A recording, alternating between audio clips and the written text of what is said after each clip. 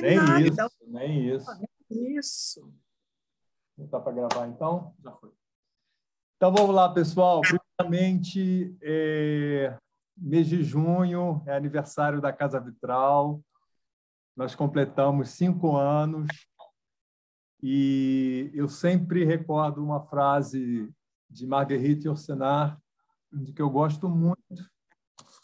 Ela diz assim que o verdadeiro, o verdadeiro local de nascimento é aquele onde lançamos pela primeira vez um olhar inteligente sobre nós mesmos.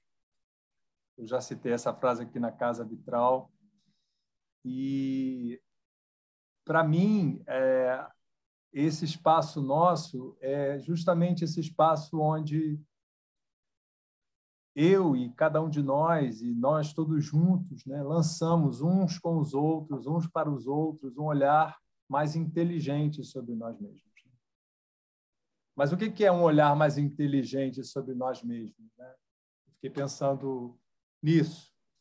É, esse olhar inteligente não é um olhar que revela a gente como um, um ser em si mesmado, um ser, um ser fechado, né?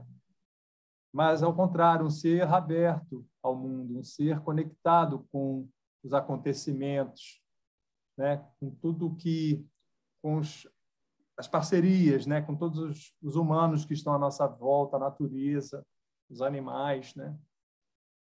Então, eu quero, primeiramente, agradecer a vocês por esse por essa por essa parceria, né, por esse incentivo, essa motivação, né, de sempre estarmos juntos, né, elaborando alguma coisa para justamente lançar esse olhar inteligente sobre nós e parabenizar a vocês, né, por também estarem nascendo comigo, né? Eu acho que nós nascemos, nós somos testemunhas uns dos outros do nascimento de uns e outros, né? Então é isso. Muito bom. Parabéns. É, bom, eu vou começar fazendo um brinde, então, né? Vou deixar para fazer um brinde agora, logo. Eu não peguei, meu, eu não trouxe brinde. Ah, vai pegar a sua taça. Essa é uma fita que eu não peguei. Uma taça. Dá tempo, dá tempo, Dá vai lá. tempo, claro que dá tempo.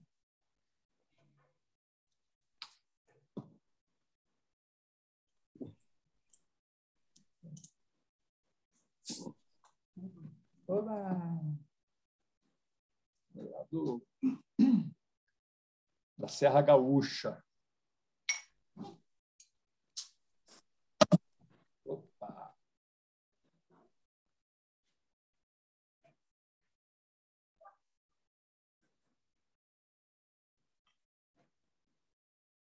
um dos momentos mais esperados da Casa Vitral, né?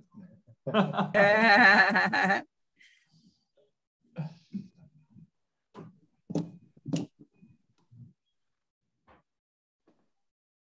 Então, um brinde a todos nós. Viva! Viva! Obrigado, Marcinho. Um brinde. Desculpe, Márcio, eu te amolei meia hora antes da aula, Imagina isso. mas eu não conseguia de jeito nenhum. Certo. Obrigada. Só- a sua taça tá bacanérrima, Isa. Portanto, A Isa é toda bacanérrima, né? É, o que, que não é bacanérrimo, né, Isa? Que não é bacanérrima. Então vamos lá, pessoal, sem medo do futuro. Esse livro que acabou de ser lançado, está quentinho, saindo do forno, quentíssimo, Movimentadíssimo, né? né? E do Guilherme Boulos, que a gente vai começar a trabalhar hoje, né? O prefácio de Luísa Erundina. Eu tenho dedicatória. E... Hum, que luxo. Ah, eu também tenho. A outra Mostrar luxenta. também, ó. Muito bem. Tá? Então, é, o prefácio de Luiz Erundina começa com uma interrogação. Ela se pergunta quem poderia imaginar né, que em 2015 é, um deputado extravagante. Oi? Ah, tá. Quem poderia imaginar em 2015. Em 2015, é, não que em 2015, perdão, em 2015, que um deputado extravagante do baixo clero seria, eu pulei o nome dele, que eu não quero, não quero citar o nome dele, seria eleito presidente do Brasil, né? nem nos piores pesadelos. E depois ela recoloca uma outra questão: quem imaginaria em 2019 que Lula, então preso em Curitiba e com os direitos políticos cassados, se tornaria o favorito para as eleições presidenciais seguintes? Né? Aí ela usa a imagem da fênix renascendo das cinzas. E após o drama das eleições de 2018, quem sugeriria que nós chegaríamos, Bolos e eu, ao segundo turno na maior cidade do país, pouco tempo depois, com um projeto de mudanças profundas. Essa é, é a abertura do prefácio. E logo no parágrafo seguinte, ela diz: a história é sempre dinâmica e surpreendente. Uhum. Astuciosa, dizia Hegel. Astuciosa, dizia Hegel. Então, ela faz uma já uma primeira alusão filosófica né, a Hegel e também a Marx. Vamos ver o que, que, ela, o que, que ela diz. Isa, você gostaria de ler, por favor? Posso ler, sim. A história é sempre dinâmica e surpreendente. Astuciosa, dizia Hegel, com movimentos subterrâneos invisíveis a olho nu. Cavando como uma toupeira, versou Marx. Não podemos descuidar soberbamente em momentos bons, nem nos desesperar em momentos difíceis. Nenhuma vitória é definitiva e nenhuma derrota é definitiva. O que o Brasil vive hoje é um dos períodos mais sombrios de nossa história, mas a topeira segue cavando. Entregar os pontos e perder a esperança é o único caminho que não podemos seguir. Luiz Erundina, prefácio. Então, a história dinâmica e surpreendente, astuciosa, né? Astúcia remete a quem que nós conhecemos assim bastante, trabalhamos bastante. Ulisses. Ulisses, né? o, o Odisseu, né? o homem de mil astúcias. Né? É, a, essa, esse conceito de razão a, a, astuciosa né? É, o Hegel é um conceito muito fundamental na, na filosofia do Hegel. É, eu vou falar um pouquinho dele para a gente entender o que, que a Erundina está trazendo aqui para a gente. Né? Esse conceito ele aparece num livro do Hegel sobre a história, intitulado Lições sobre a Filosofia da História. Esse livro ele foi publicado em 1837. Esse, eu estou falando isso porque foi uma publicação póstuma. Na verdade, esse livro não foi diretamente escrito pelo Hegel. Ele foi feito com base nas anotações do Hegel. O Hegel era professor da Universidade de Berlim.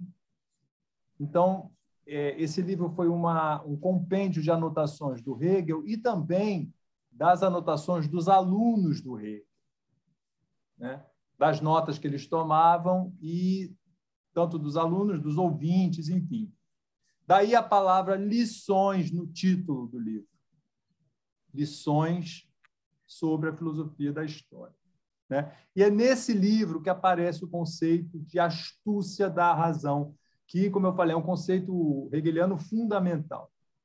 Para a gente entender bem né, o que, que significa a astúcia da razão, a gente tem que entender o que, que é a razão do Hegel. a razão para o Hegel é muito mais do que o que a gente comumente chama de razão. Né? O que é a razão? O raciocínio, né? o intelecto, a capacidade de quê? De, de formular ideias, de estabelecer um, um discurso, né? de analisar, de, de comparar. Né? Seria assim, uma categoria de análise. Né? A razão para o Hegel é muito mais abrangente do que isso. Esse, esse sentido é o sentido que a gente usa, é um sentido estreito. É o sentido do cógito cartesiano. Penso, logo existo. Né? Mas a razão para o Hegel tem um sentido universal. A razão para o Hegel é, se confunde com o próprio movimento da história. Ou seja, a razão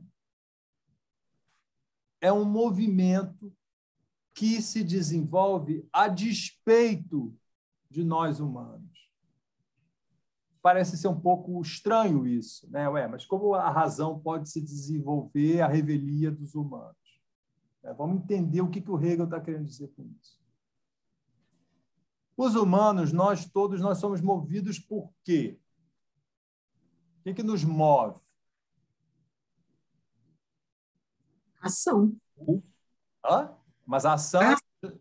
A ação. O que, que move a ação? O que, que... Desejo. Desejo, vontade. É, o desejo, a vontade, é o que o Hegel chama de paixões. Né? A filosofia usa muito o termo paixões para falar de toda essa de toda essa nossa afetividade, tudo que diz respeito ao desejo, aos sentimentos, né? ao patos, né? às sensações. Né? Então, nós somos movidos a paixões. Né?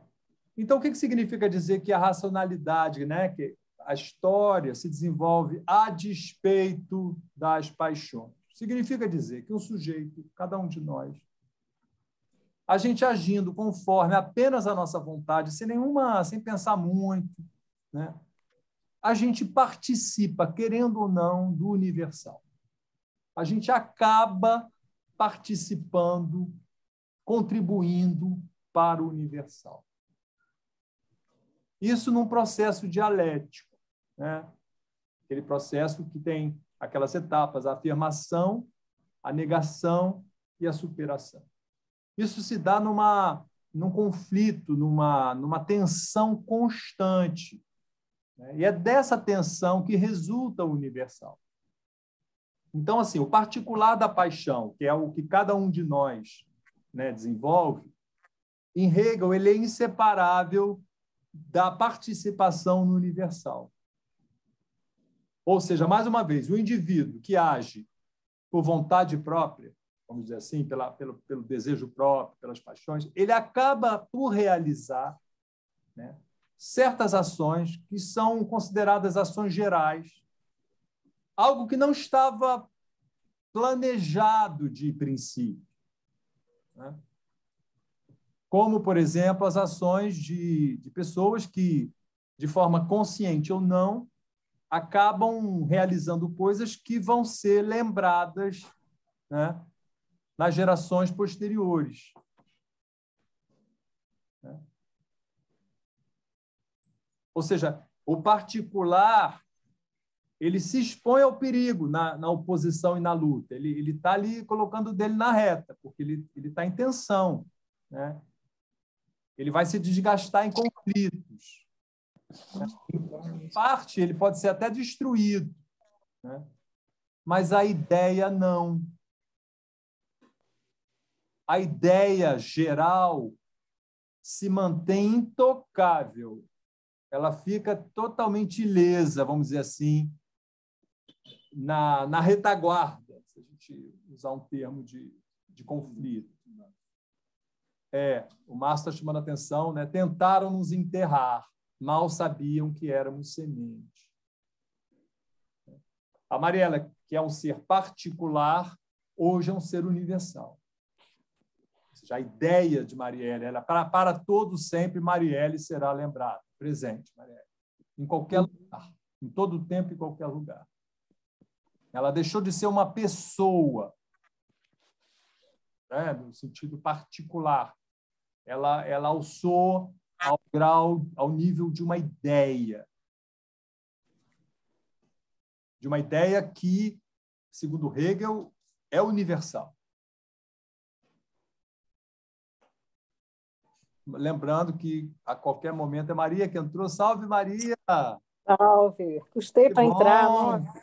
Que bom te ver. Como é que é? Bom. Custou para entrar? Custei para entrar, mas cheguei. Ah.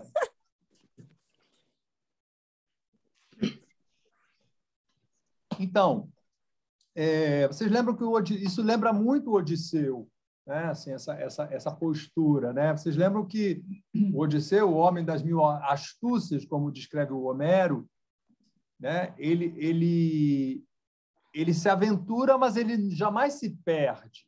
Né? Ele, ele, ele se aventura, mas ele conserva sempre algo. Isso, esse é o próprio da astúcia. Vamos lembrar uma frase do Adorno que fala justamente disso. Pode, Márcio?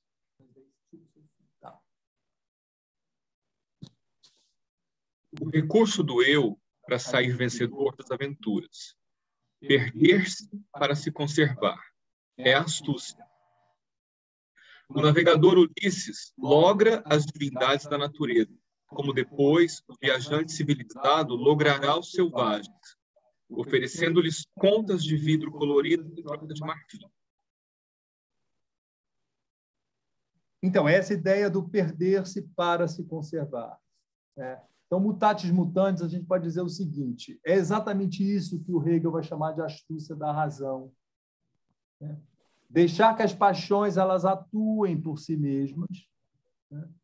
elas vão se manifestar na realidade concreta nossa, né? e ela vai se servir das paixões em benefício próprio, sem se deixar atingir pelos conflitos. Né? Por isso, a razão para Hegel ela é autossuficiente, ela é astuciosa, nesse sentido, ela não se é como Odisseu, ele se aventura, mas ele se mantém. Né? Ela, vai se, ela vai se realizando a despeito da vontade é, particular. Né? Por isso que é, a, a, a, a, Isa leu né, o trechinho da, da Irundina, né, com movimentos subterrâneos invisíveis a olho nu, né, a topeira. Né? Ela vai cavando, a história vai cavando, né, é, a despeito das nossas paixões. E o Hegel chega até a falar de providência divina, mas o que, que é a providência divina? Né? O que, que ele que, que está querendo dizer com isso? É, Glenda, lê para a gente aí, por favor. O que, que é a providência divina? A providência divina é a sabedoria que, com um poder infinito, concretiza os seus objetivos, isso é, o objetivo absoluto e racional do mundo. A razão é o pensar livre e determinante de si mesmo. Veja, lições então, sobre a filosofia da história. Então, é, vejam bem, a razão é o pensar livre e determinante de si mesmo. Né? É, é, esse é que é o conceito de liberdade para Hegel, que é muito, muito parecido com o conceito de liberdade de Kant também. Né? A razão ela é livre quando ela se submete livremente, né? de bom grado, aos seus próprios imperativos. É, o Spinoza também tem uma, uma, ideia, é, uma ideia parecida com essa. Né? É, não vou entrar aqui no detalhe, mas é, de que nós não, nós não somos livres, porque nós, a razão, justamente, ela não se determina, ela faz parte da natureza. Mas a liberdade espinosa é uma outra história. Enfim, lembrar sempre isso, que o, que o, o Odisseu ele se aventura né, para moldar a sua racionalidade, né, para dar têmpera, lembra dessa, dessa expressão que o Adorno utiliza, para dar têmpera ao sujeito racional. Né? Então é isso. A razão, a razão ela é astúcia é, nesse sentido. Ela se utiliza de algo como um meio né, em benefício próprio. E isso num processo que Hegel vai chamar de dialética. Né? A dialética em Hegel é o pensamento da complexidade, da interdependência, da não separação. Né? Tudo está em tudo e reciprocamente. Vamos ver o que o Hegel chama de dialética. Marilda, chamamos dialética chamamos dialético movimento racional superior, no qual os termos em aparência totalmente separados passam de um ao outro por si mesmo, pelo próprio fato de ser e no qual a pressuposição de sua separação se suprime. Hegel, lógica 1. Dialética, portanto, é um movimento racional superior, esse movimento da razão universal, no qual uhum. termos, aparentemente, eles são separados. Né? Mas não, para Hegel, eles passam de um ao outro por si mesmo e reciprocamente. Né? E, é, e você pressupor que eles estejam separados, isso suprime o, os, os termos. Né? Existe uma, uma interdependência necessária né, de todos os termos. Né? Por isso, no texto da Irundina, ela diz assim: vitória e derrota. Né?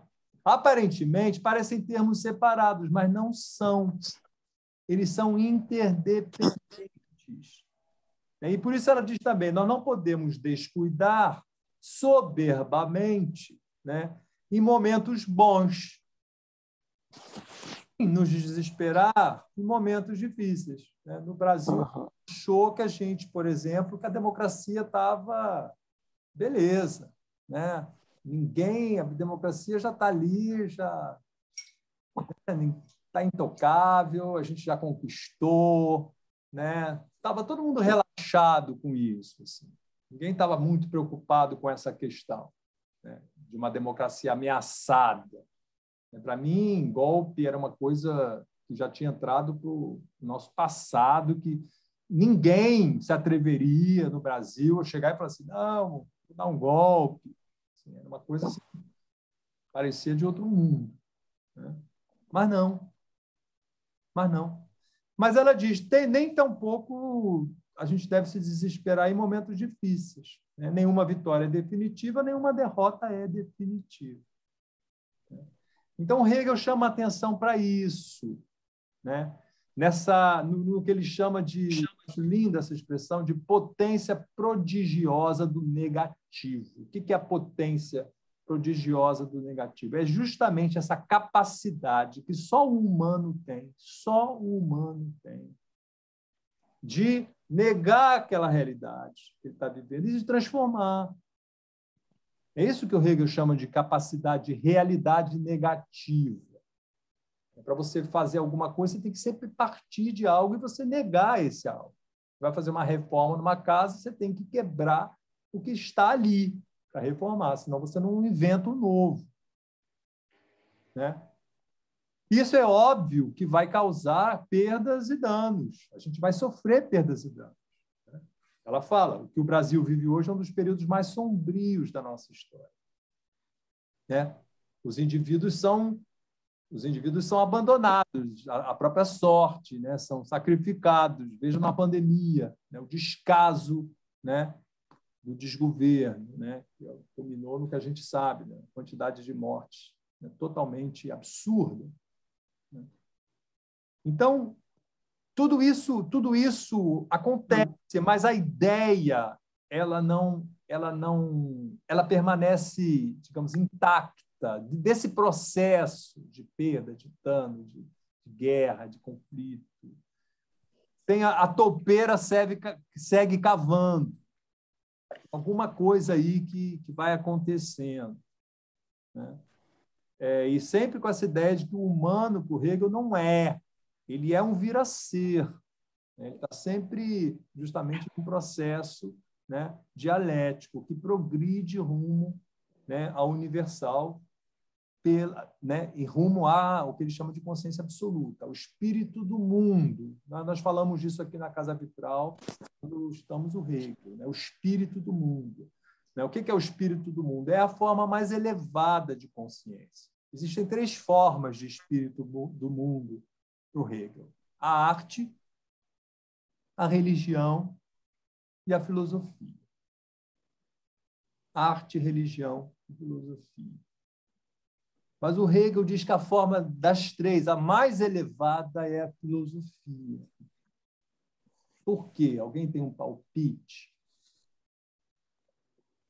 As três são formas elevadas de consciência, da mais alta consciência, mas tem uma que é mais alta ainda, que é a filosofia. Por quê? Podem dar um palpite mesmo, chutômetro. Permite que você permite o contraditório, permite que você tente provar diferente da religião ou da arte, nada disso? Permite um, um, uma dialética? Exatamente, permite uma dialética, ou seja, permite refletir o próprio movimento da razão rumo a o movimento história, da história, né, entendida como razão, rumo à consciência absoluta. Ou seja, filosofar para Hegel nada mais é a filosofia do Hegel é linda, assim, ela é, ela é bonita, assim, que o Hegel diz assim, a filosofar nada mais é do que o espírito do mundo refletindo o seu próprio papel na história. É isso que o Marco está falando. É, a dialética ela é rebatida através do, do pensamento. Né? É isso que é filosofar, é, é, é fazer com que o espírito do mundo reflita sobre si próprio. Olha que beleza. Né? Essa consciência absoluta, isso, hein? Hã? Consciência absoluta. Então, se você pensar a consciência como, como um devir histórico, a consciência absoluta estaria lá no infinito. Seria, seria assim, é, é, é, o supra-sumo, o ponto, o ponto final da história, vamos dizer, se, se a história tivesse um fim. Como não tem fim, vai para o infinito. Né? É uma filosofia. É, é claro que ela vai ser duramente criticada por autores como Sartre, por exemplo, que vão pensar o indivíduo na sua concretude, não o indivíduo, não uma consciência absoluta no processo histórico. Claro, a consciência é atravessada pela história, mas assim o que está em questão né, para Hegel é essa esse espírito absoluto que, que, que, estaria no infinito, vamos dizer assim, né? E é por isso que, então, assim, a filosofia para Hegel é o espelho do mundo, do, espírito do mundo. Por isso ela é a mais a mais elevada da, da, dessas três formas de consciência absoluta, né? E é isso também que, que faz a gente entender a famosa frase de Hegel, né? Se a Dino estivesse aqui, eu ia pedir para ela ler em alemão, mas como ela não está, né? vamos lá. Das Wahre ist das Ganze. Das Wahre ist das Ganze, que significa nada mais, nada menos. O verdadeiro é o tudo. A verdade não está em nenhum momento do processo, ela está na totalidade do processo. O Hegel pensa, né, ele é o filósofo da totalidade. Né? Não é o indivíduo que, que encontra a si mesmo, é o espírito do mundo. Né? Isso tem uma, uma consequência muito, paradoxalmente, muito concreta na, no que a gente está falando aqui. Que consequência é essa? Muito simples. É impossível a gente se isolar. É impossível a gente se desligar do processo. É impossível a gente se desligar da sociedade em que a gente vive. Nenhum conceito. O sujeito ele é atravessado pela história. Nós somos fruto desse processo e, ao mesmo tempo, nós encaminhamos, nós damos prosseguimento a esse processo. Então, assim, quem dá as costas ao outro para tentar se encontrar, para tentar se, se achar, né? É, é, um louco, vamos dizer assim, não, não, não está, não está é, digamos assim, em sintonia com o próprio devir, com a própria essência né, do, do humano, né, que é justamente esse, essa dialética. E é isso que faz, me parece assim, é, essa frase de Erundina, entregar os pontos e perder a esperança é o único caminho que não podemos seguir. Né? Entregar os pontos é se desligar do processo. Cláudio? Sim, fala. Marilda.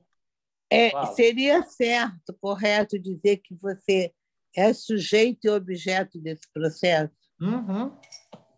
Sim, perfeito. O sujeito, e, e, sempre dialético, né? porque o sujeito é aquilo que nega o objeto. Né? É. Então, exatamente. Nós somos, ao mesmo tempo, fruto da história e, ao mesmo tempo, agente da história. Sujeito Perfeito. da história. Perfeito. Bom, aí ela vai logo falar da campanha da Prefeitura de São Paulo, né, que ela vai descrever como uma batalha de Davi versus Golias, né, porque, é, primeiro, São Paulo ela diz que é, que é tida, e ela até coloca entre vírgulas, erroneamente, a, a, a Isa pode falar melhor sobre isso. Né? Hein, Isa, você concorda que São Paulo é tida como uma cidade conservadora? Pois é, eu, às vezes eu ouço isso, mas eu não acho que São Paulo tem nada de conservador. São Paulo está sempre na retaguarda aí, é? Na vanguarda. Na vanguarda, desculpa. Olha o ato falha. Olha o ato falha. É que, São Paulo, é que São Paulo tem de tudo. São é Paulo é impressionante. É como o mundo todo? São Paulo é como o mundo todo? Eu sempre como diz Caetano? Como o mundo todo desigual, né?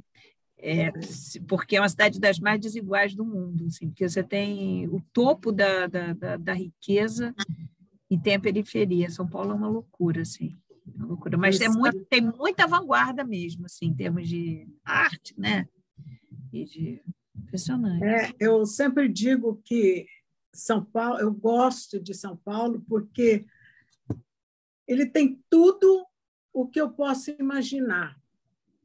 Tudo está lá, mesmo que eu não usufrua. Isso, para mim, eu estou perto disso. Isso, para mim, também me faz participante, né, de certa forma.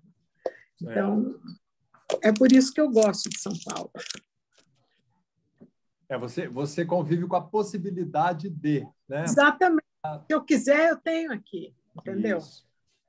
Então, a Erundina ela diz que erroneamente é tida como uma cidade conservadora, né? mas o encontro, a chapa, né? Boulos Erundina, ela diz, era uma, era uma chapa sem estrutura financeira comparada com, Sim. com, com os oponentes, que estavam, inclusive, no governo, né? que estão no governo, né?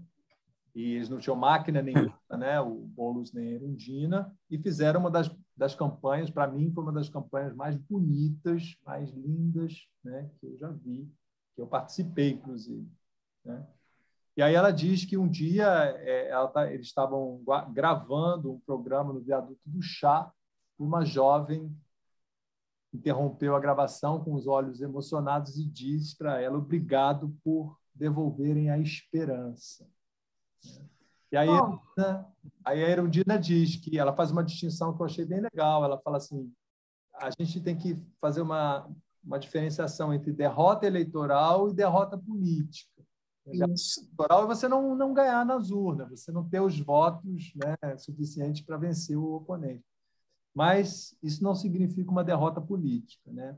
É, porque, no caso de Erundina Boulos, uma semente foi plantada e floresceu. Né? Até aquele cartaz da Mariela ele fala da semente. Né? E a grande marca da campanha, eu acho que esse é um, é um tema muito bacana que ela traz aqui, é o engajamento. Né? Ela fala retomar o engajamento. Né? E ela, ela fala, dá como exemplo um jovem né, que, após o primeiro turno, aqui do Rio, ele pega o ônibus na rodoviária, ele não tinha nem lugar para ficar em São Paulo, ele vai para São Paulo ajudar a virar os votos né, nas eleições. Né? Então, então, ela diz assim que é, esse engajamento ele, ele que, em vista de um projeto de transformação, né, ele, não, ele não é feito por dinheiro. Ninguém, ninguém se engaja né, na, na, campanha, né, nessa campanha, né, como a do Boulos da Erundina, por dinheiro, né, mas por ideal. E aí eu lembrei de uma frase do Mujica, que diz o seguinte: Lourdes, você quer ler? Cláudio, hoje eu estou no celular, porque eu, eu não estou conseguindo abrir no. Estou enxergando Tá. pouco. Tá bom, então eu vou, então eu vou dar para o Márcio. Tá bom. Hã?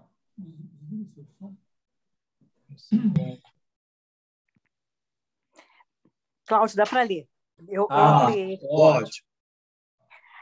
eu dei uma ampliada. Há pessoas. Ah, meu Deus do céu, a, a, a imagem, peraí. Há pessoas que adoram dinheiro, se mantêm na política, E se metem na política. metem na política. Tá ruim para mim, gente. Se adora tanto dinheiro que se meta, então, no comércio, na indústria, ou que faça o que queira. Não é pecado, mas a política é para servir ao povo. José Mujica. É isso aí, né? Quem, quem adora dinheiro não tem que se meter na política, né? No sentido autêntico da política, né? A política não deve ser feita por dinheiro, mas ela tem que ser feita por um ideal, né?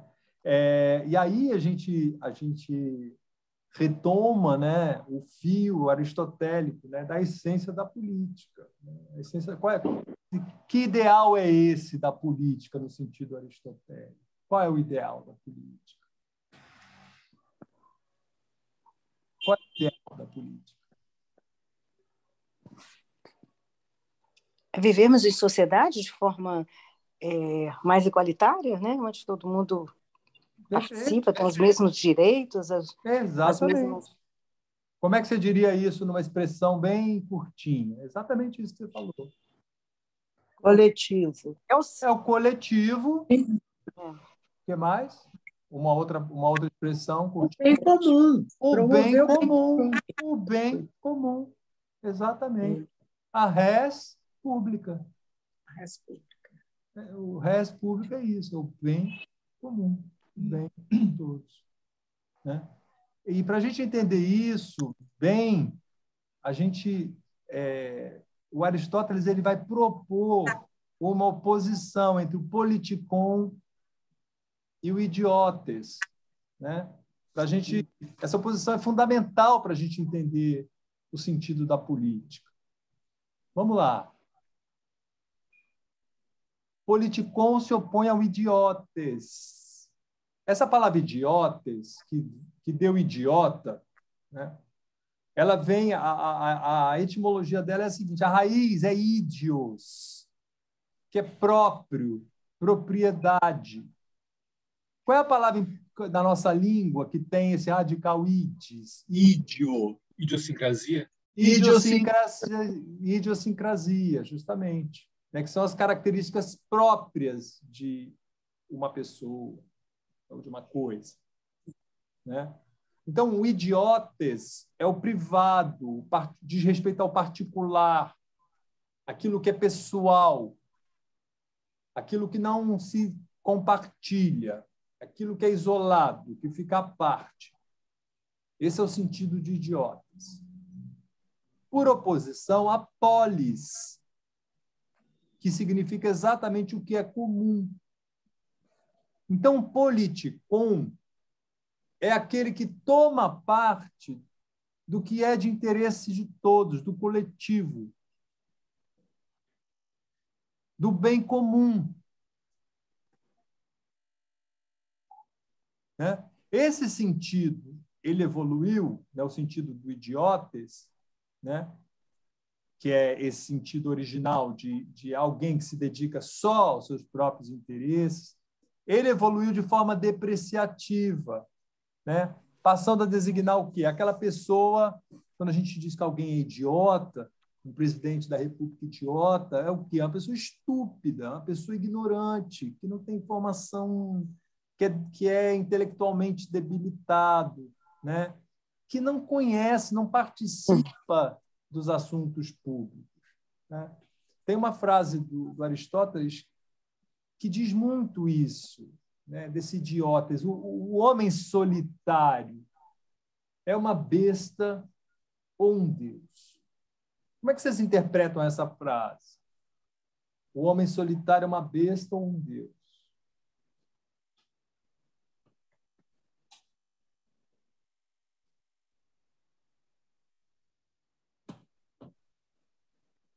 Hum? Ele é um Deus quando ele está acima dos outros homens, por exemplo, com muito poder, aí ele fica isolado.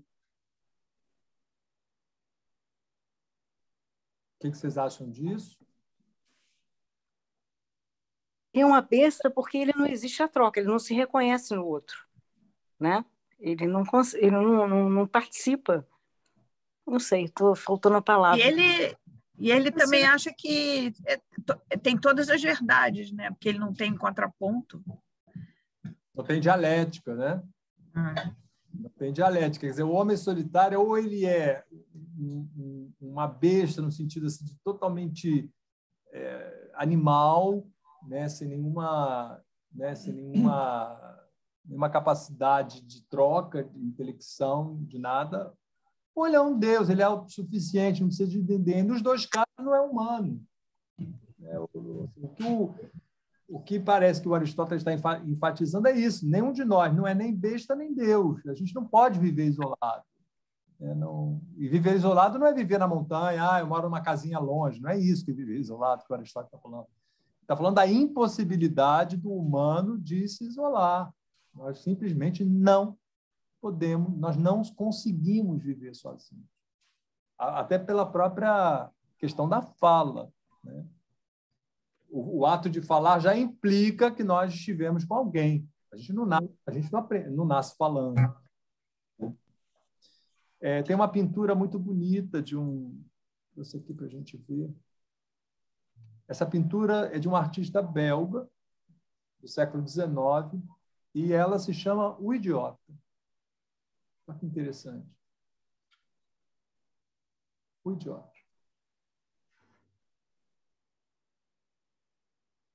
Essa ideia de isolamento, né, de reclusão, de da pessoa que não que não que alheia tudo que está acontecendo à sua volta. Né? E aí a gente volta porque a gente estava falando do Hegel, né? O Hegel como filósofo da totalidade. É, é impossível isolar-se, é impossível a gente se desligar das costas para o outro, para as coisas. Né? E, opostamente, né? é, a gente tem o politicon, que é justamente aquele que fura essa bolha, esse, essa bolha egóica, né? esse ego, né? para de, de olhar no seu umbigo e vai participar dos assuntos gerais. Né? Então, enquanto o idiota ele passa a vida a girar em torno do seu umbigo, né?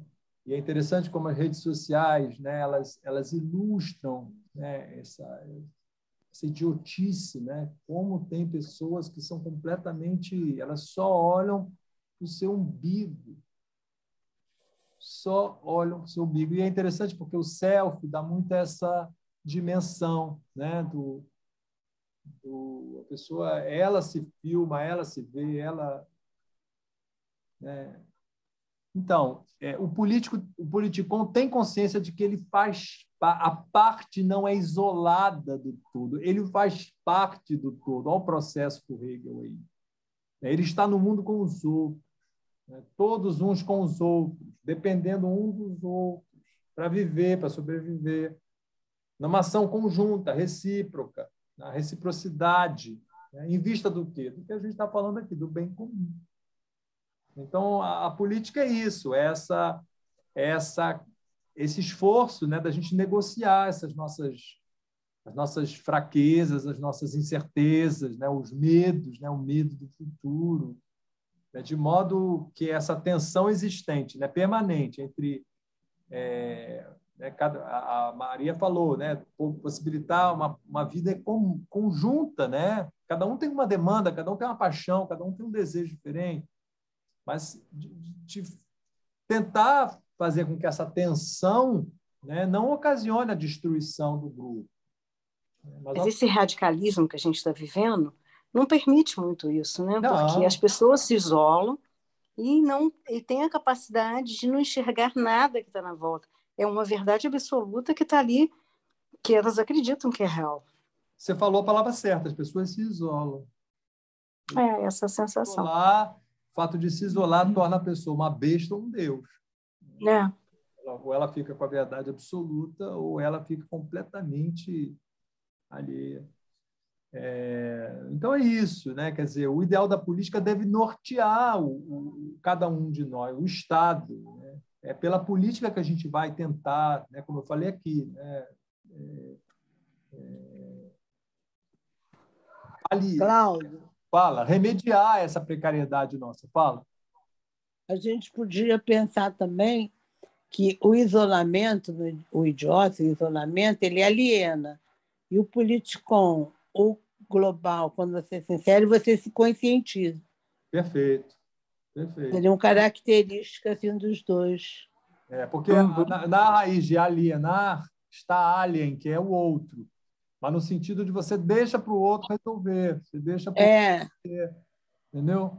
a- não tem nem consciência. Esse Não. povo, por exemplo, quando ela colocou, a Maria colocou esse isolamento, eles não têm nem consciência, porque eles veem a própria realidade de uma maneira completamente distorcida a partir do seu isolamento, Exatamente. sua não inserção no, no todo. Sim, exatamente. Perfeito. Essa, As pessoas não sabem te responder a uma questão a não ser em cima daquilo que eles pensam, ou arquitetaram, ou pensam que é o real.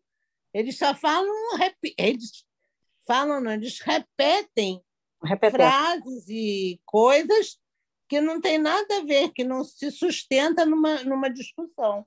Perfeito. Não é à toa que o Bolsonaro não quer ir a nenhum debate, ele não quer ir. É. Ele não, ele não tem o que dizer sobre o real.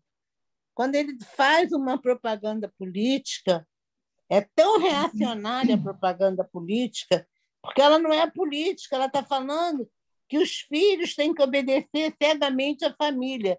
Isso foi uma coisa, aos pais, isso foi uma coisa que me deixou muito preocupado, porque ele, ele nunca soube que nas famílias pobres são justamente os familiares que abusam dessas crianças. Uhum. E quando eles abusarem, a criança que está sendo doutrinada assim vai pensar que ele está fazendo um bem a ela. Uhum. Ele não toca na questão do abuso infantil e, e o- e o discurso dele é para que o- as os filhos obedeçam cegamente, porque os pais sabem o que é bom para eles.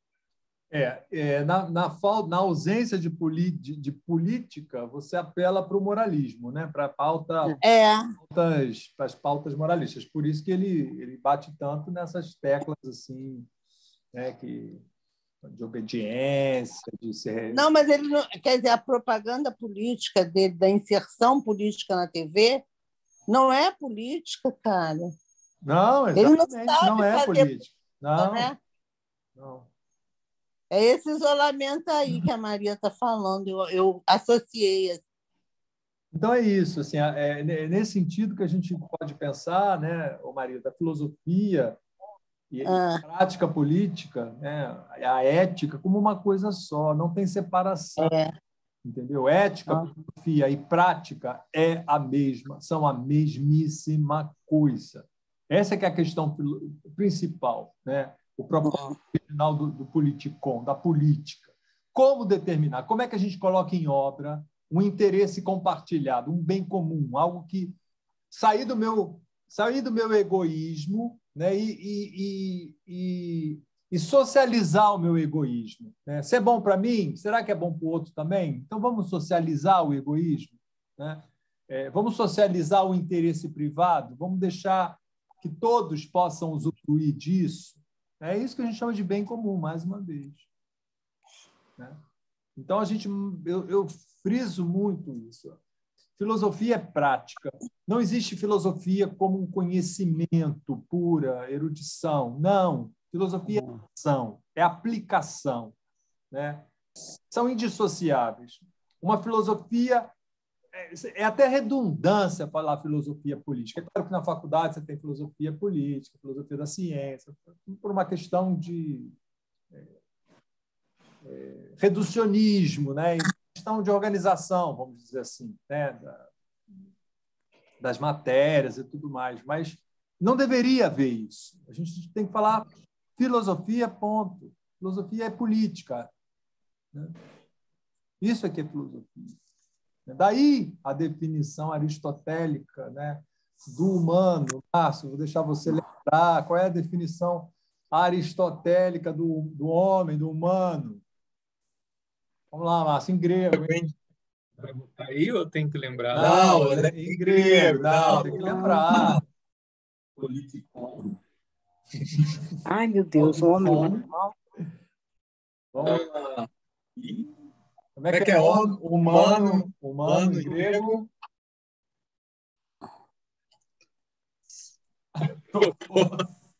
Não pode assoprar. Eu assoprei, eu assoprei. Antropos. Ah, é. Antropos, né, de antropologia. Antropos, né? O, humano é o zoon. Né, Márcio? Zoon. Zoologia, zoon. É animal político. Animal. animal. Vamos lá, Márcio. Logicon, politicon. Ué. Olha, olha o elo aí. Olha o elo aí.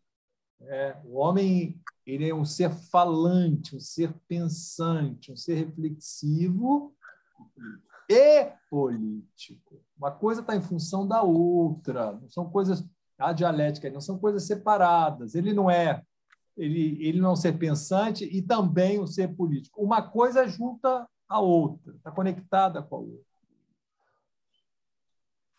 Muito bem. Então, voltando, eu fiz esse, esse essa digressão aí, né? primeiro com o Hegel, depois com Aristóteles, né? a, a, a Irundina cita né, esse rapaz, o Antônio, né, que saiu lá do Rio, daqui do Rio e foi lá para São Paulo. Né? Quer dizer, ele foi para um ideal, ele não foi um interesse de dinheiro, nada, ele, nem lugar para ficar ele tinha. É, não tinha. Né? Então, ela diz, a política só vale a pena se for feita com sonho. Essa passagem é muito bonita, dá para o Márcio ler. Para quem está tá com o livro aí, manda está selecionado. Vamos lá. A política só vale a pena se for feita com sonho. Se for projeto individual, busca do poder pelo poder, vira politicário. Foi essa política individualista que só quer privilégios para si e que vê o povo apenas como um título eleitoral a ser conquistado, a maior responsável pelo desencanto da sociedade brasileira com a política. Bolsonaro é fruto desse desencanto, que gera crença em salvadores da pátria para mudar tudo que está aí. Precisamos nos reencantar para reencantar as pessoas. Recuperar o brilho dos olhos e a esperança no futuro é a grande missão de uma política transformadora. É, eu, eu, eu chamo a atenção para vocês. Recuperar o brilho nos olhos e a esperança no futuro é a grande missão de uma política transformadora. E antes ele, ela diz: precisamos nos reencantar para reencantar as pessoas. Qual é a relação com o politicon aí do Aristóteles? Vocês veem?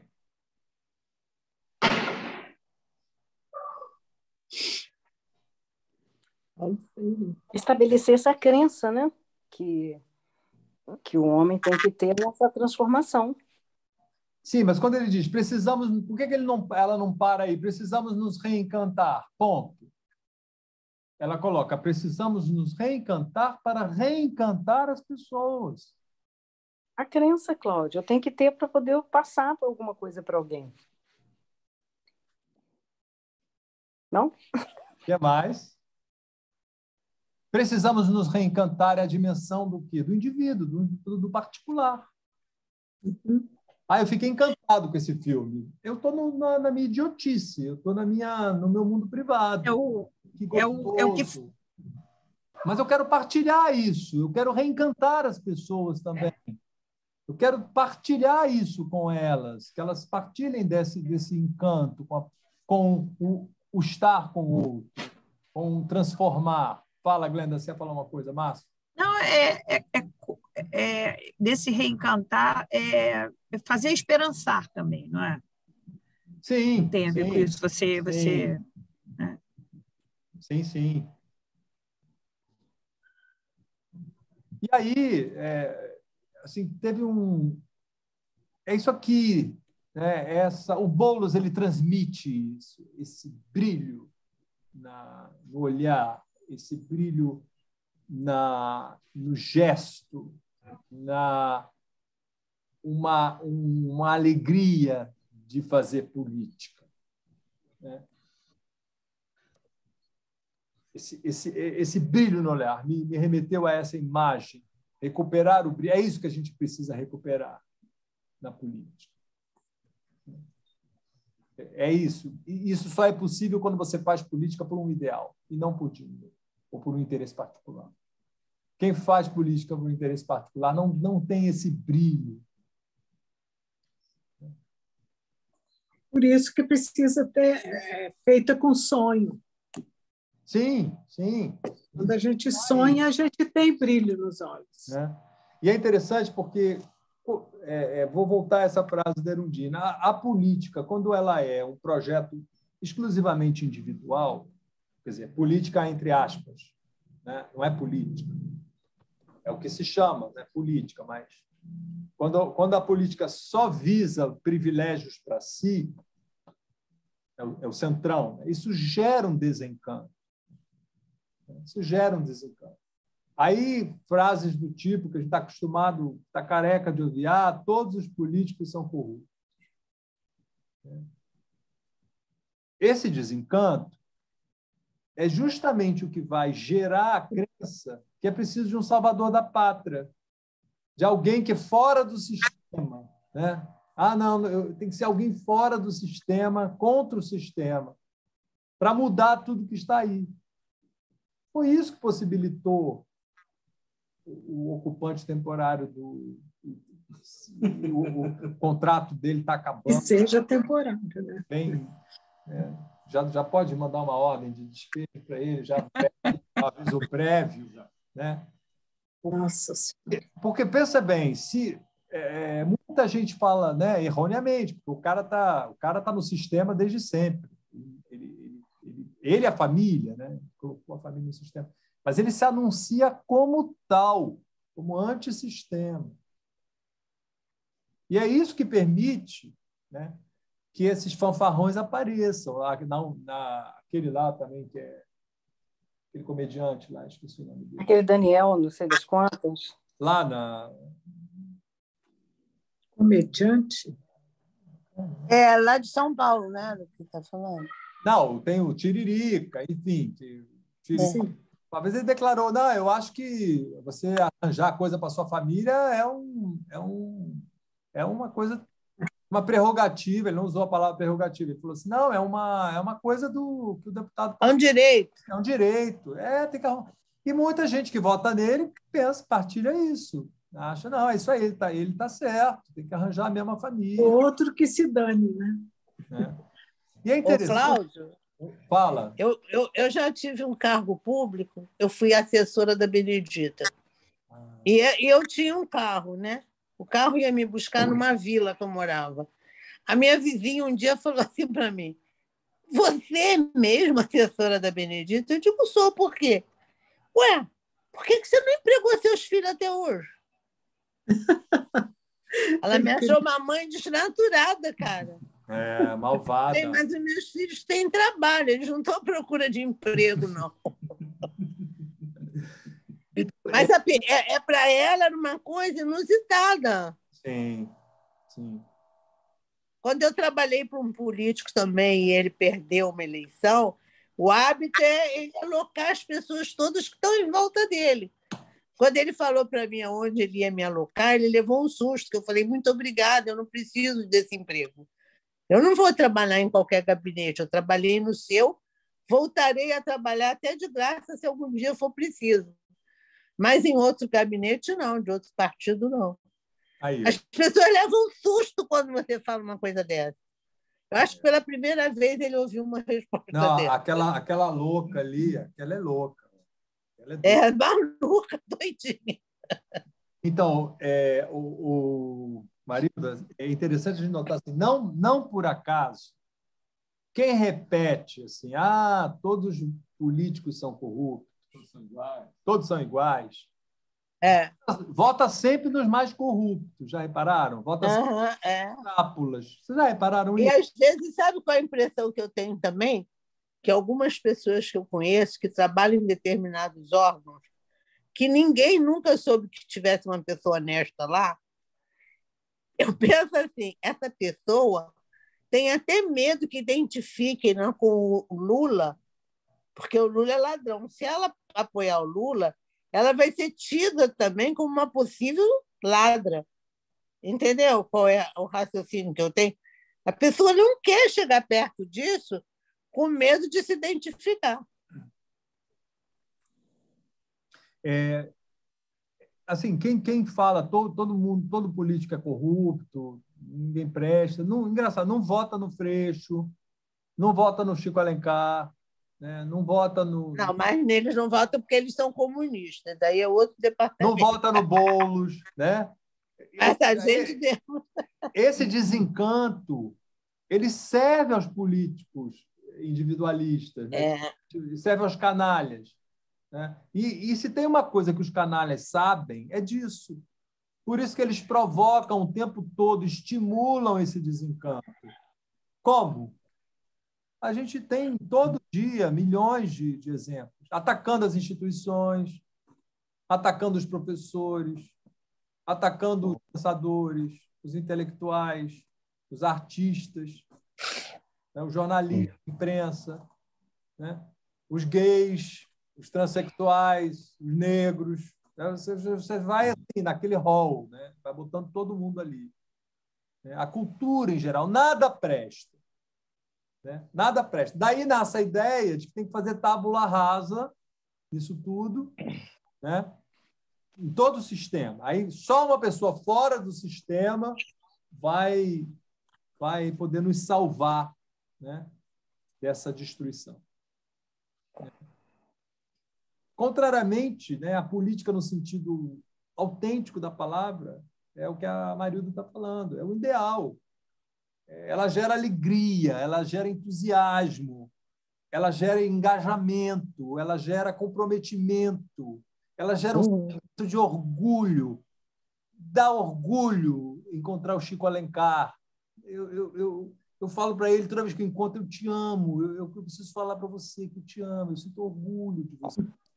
Eu sinto orgulho quando eu leio as suas crônicas. Eu sinto orgulho quando você está na praça com, o seu celularzinho, gravando, falando. Eu, sinto, eu me sinto, eu me sinto agraciado. Né? E um momento muito, dá, dá um desejo de partilhar é esse a gente se sente reencantado e a gente quer reencantar as pessoas. E um momento, um dos momentos mais bonitos do lançamento do, do Sem Medo do Futuro, do Boulos, eu conto ou você conta, Márcio? Vou deixar você contar.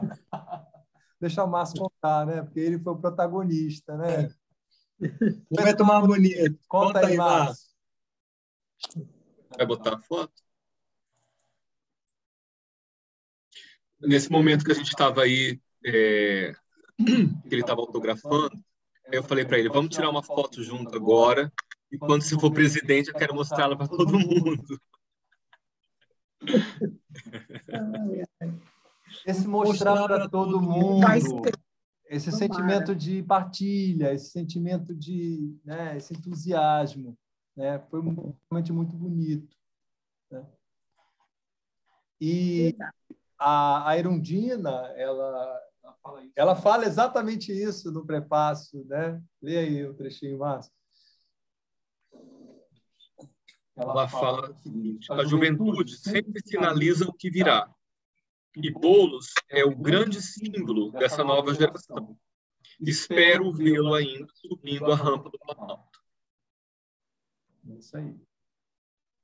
Então, aí a Erundina está apontando para o futuro, né? É bacana porque do ponto de vista assim, da forma do prefácio, ela retoma o título, né? Porque assim quando ela começa a falar do Boulos, não, eu ainda vou vê-lo subindo a rampa do Planalto, ela está né, tá apontando para o futuro. Né? Então há um rebatimento aí do, do do, do conteúdo e do, do, título do livro. Né?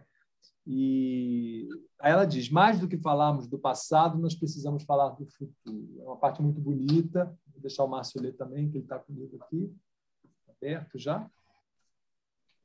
Plantamos sementes e mostramos que era possível. Agora precisamos seguir em frente para uma bela colheita de primavera, em São Paulo e no Brasil. O caminho para isso é esperançar. Esse verbo foi cunhado pelo mestre centenário Paulo Freire. Ele dizia que a nossa esperança não pode vir do verbo esperar. Temos que sonhar e lutar por nossos sonhos. Temos que esperançar, não simplesmente para uma eleição, mas para uma geração e pelas próximas que virão. A história somos nós que fazemos. É, aqui a referência a Paulo Freire, né, a pedagogia da esperança, um reencontro com a pedagogia do oprimido, e trouxe a citação do Paulo Freire, só para a gente, que é muito. A Arundina, praticamente, ela parafraseou, né? é preciso ter esperança mas tem de ser esperança do verbo esperançar. Porque tem gente que tem esperança do verbo esperar. Esperança do verbo esperar não é esperança, é espera. Ah, eu espero que melhore, que funcione, que resolva. Já esperançar é ir atrás, é se juntar, é não desistir, é ser capaz de recusar aquilo que apodrece a nossa capacidade de integridade e a nossa fé ativa nas obras. Esperança é a, é a capacidade de olhar e reagir àquilo que parece não ter saído. Por isso, é muito diferente de esperançar, de esperar. Temos mesmo é de esperançar. Né? Isso em 92. Né? Eu, eu li ontem uma frase que eu achei ótima. Assim, Quem está torcendo pela vitória do Lula, não torça, lute. Eu achei é, eu estou torcendo para o Lula ganhar. O que, é que você está fazendo para o Lula ganhar? Pelo amor de Deus, vamos embora. Né? Então é isso, pessoal. Bom, aí logo assim tem a apresentação é, do Boulos, curta apresentação. É interessante porque ele usa a metáfora da arma, metáfora da arma, né? Ele usa a arma não no sentido literal, que é o sentido que está sendo banalizado pelo por esse ocupante provisório do Planalto, pistola, rifle, né? mas como instrumento de morte, né? destruição. O Boulos vai usar o sentido metaforizado né? de livros. Né? Aí ele fala os livros são armas poderosas para a gente entender a realidade ao redor e transformar. Olha o politicon aí. Não é só para entender a realidade. Ah, estou lendo esse livro para entender como é que funcionam as coisas. Bacana, é importante compreender. Mas isso não, você não pode ficar idiota só na sua bolha. Né? Que ir além disso. E eu li a frase do, do Boff: ninguém vale pelo que sabe, mas pelo que faz com aquilo que sabe. Né? Um tom bem sartriano, né? e também né, aristotélico, né? a teoria indissociável da praxis. É, repetindo, a filosofia não tem nada de abstrato né? não é uma coisa abstrata. Né? Ela é conhecimento em ação. Filosofia é conhecimento em ação em vista de uma transformação. E aí ele vai falar dos tempos difíceis que o, que o país do futuro está vivendo, né? retrocesso, desprezo pela vida humana, é uma passagem muito bonita. Né?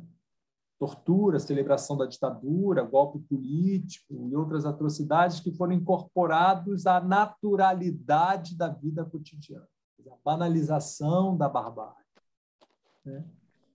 Fala das, das pessoas implorando comida, né? revirando lixo, né? caminhão de lixo, tudo que a gente está vivendo hoje virou parte, né? virou parte da, da paisagem.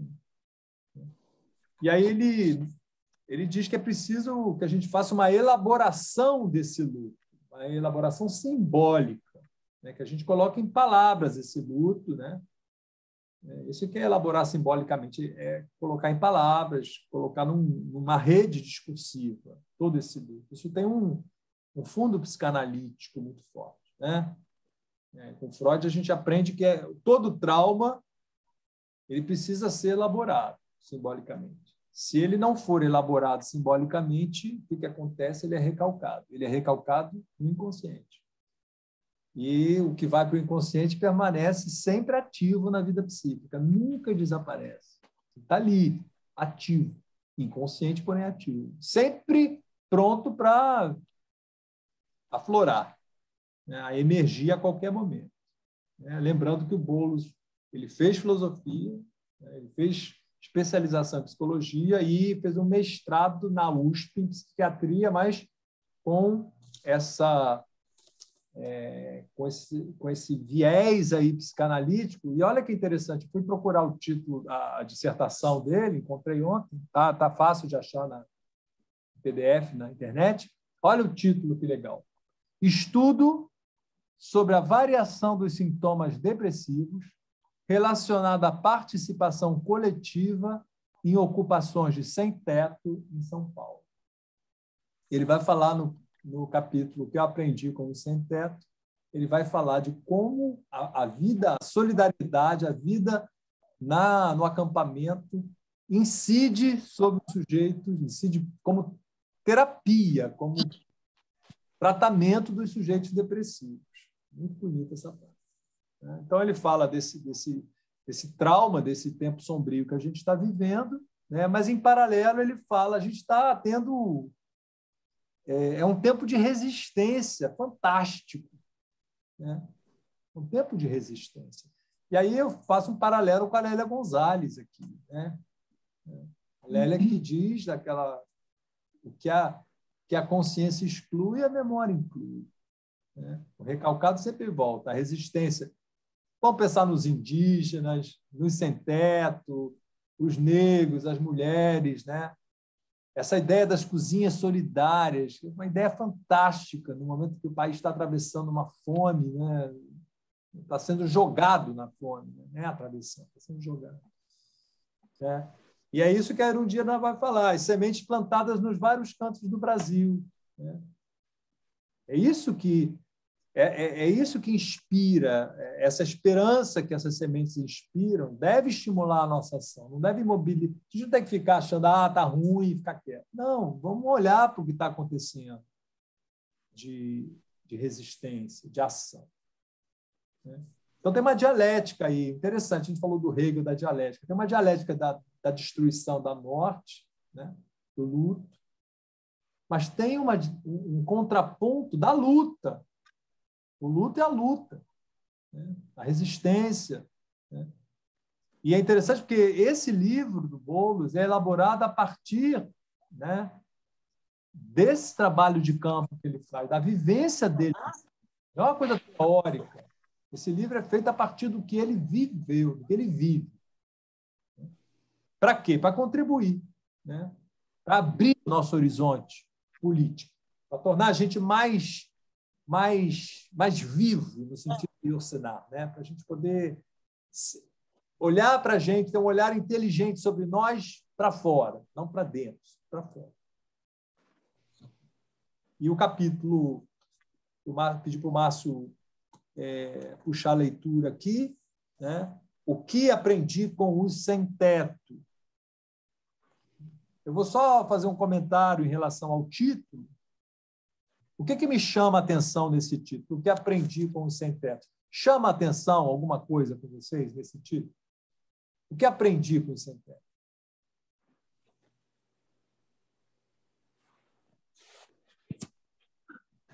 Mostra que o sem-teto tem alguma coisa a ensinar, apesar de viver sem teto, né? Que o sem-teto tem alguma coisa a ensinar, apesar de viver sem teto, sim. Mas ele está dizendo mais alguma coisa que isso. Vamos lembrar que o Boulos ele é egresso de uma família de classe média é. alta. Né? Os pais do Boulos são médicos, a mãe é professora da USP, médica, o pai é, é trabalha nas hospitais clínicas, se não me engano, né? ele, é, ele é epidemo, epidemiologista. O Boulos foi morar numa ocupação aos 20 anos de idade, né? é, quando ele começou a estudar filosofia. Né? Então, como eu falei, esse livro é o relato de uma experiência vivida, de uma subjetivação. O que aprendi com o sem Ele não diz o que eu ensinei ao sem teto. É. Poderia ser. O que eu, é. ao sem teto? Eu, que sou universitário, que sou uma classe. Meus pais são médicos, eu podia.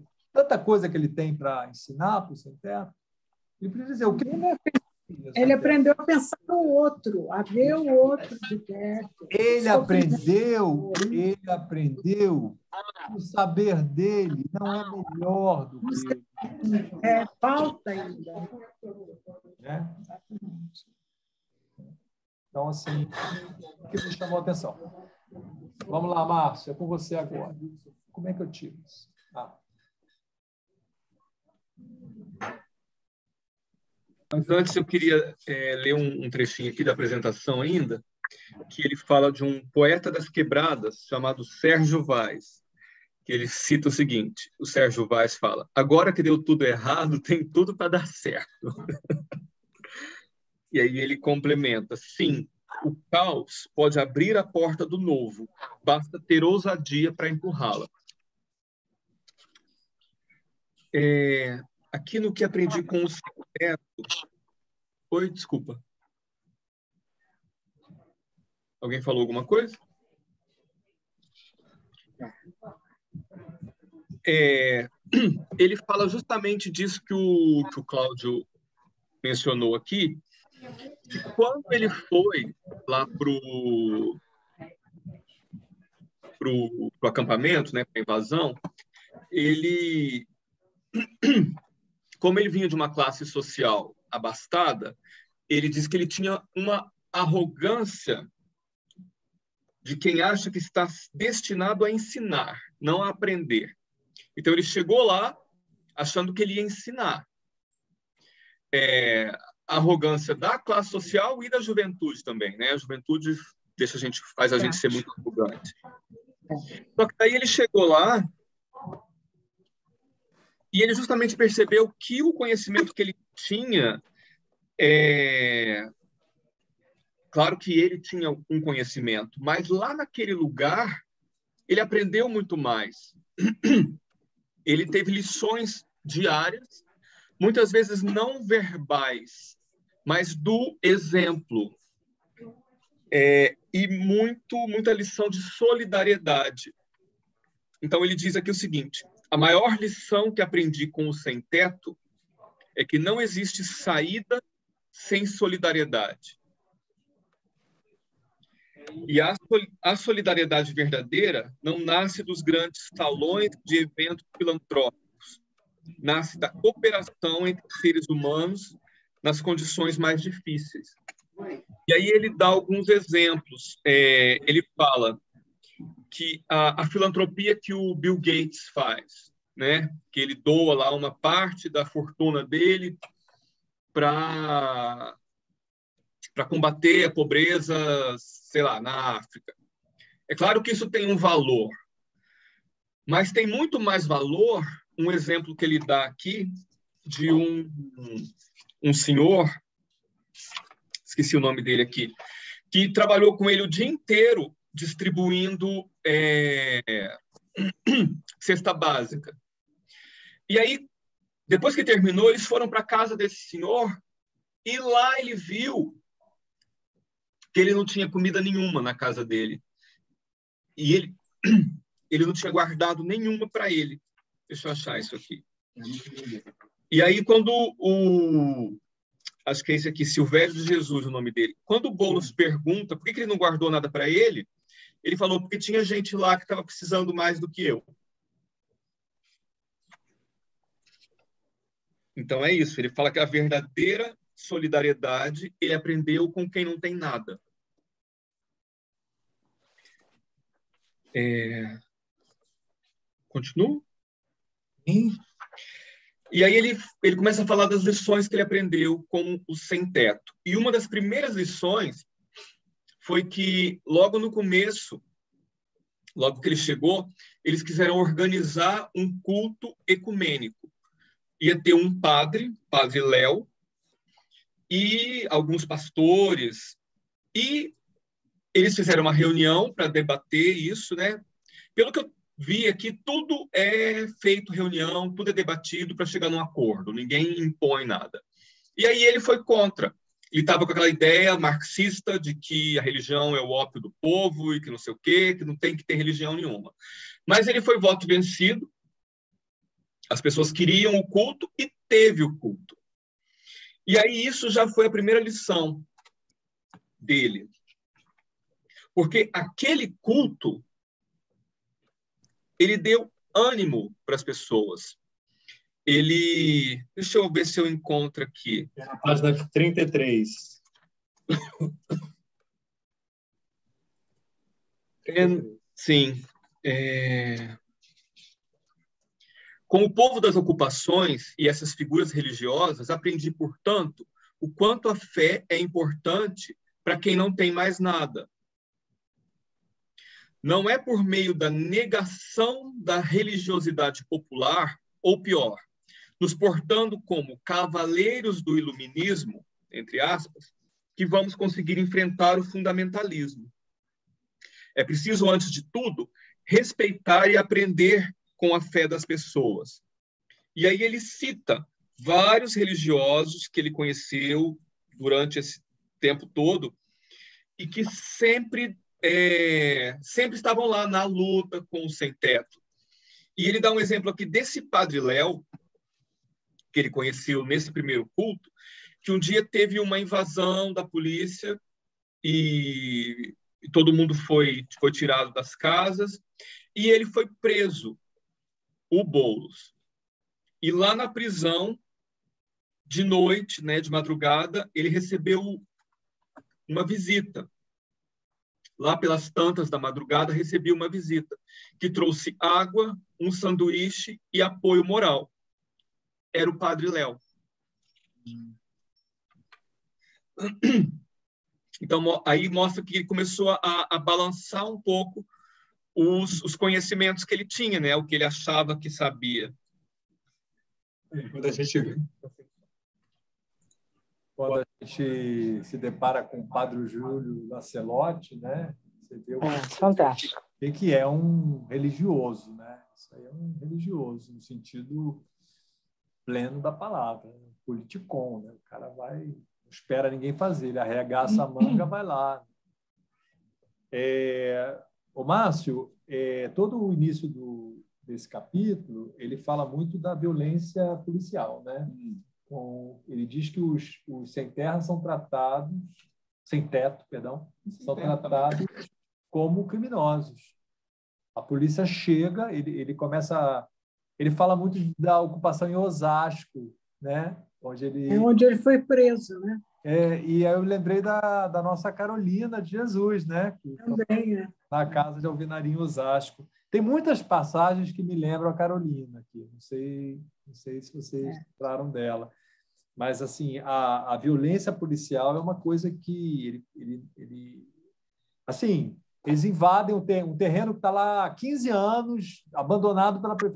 Aí um belo dia chega a polícia, entra nos barracos, nos barracos assim com a maior truculência, despeja todo mundo, coloca tudo lá de fora e fala assim: ó, oh, agora vocês pegam o que é de vocês e levam para casa dos parentes. Quem não levar, o que não for, como é que você vai carregar as coisas que você tem? Para onde? o, que, o que não levar, eles colocam fogo. Já imaginou você, você, os seus pertences, as suas coisas, colocarem fogo? Quer dizer, é uma violência é, absurda, né? É, então é isso. Eu queria assim, são os primeiros parágrafos, né? a violência covarde, eu coloquei aqui.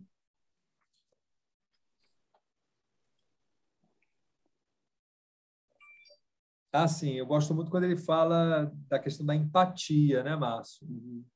É, ele diz que a, que, que, a escolha da militância né, é um ato de amor e indignação. Né?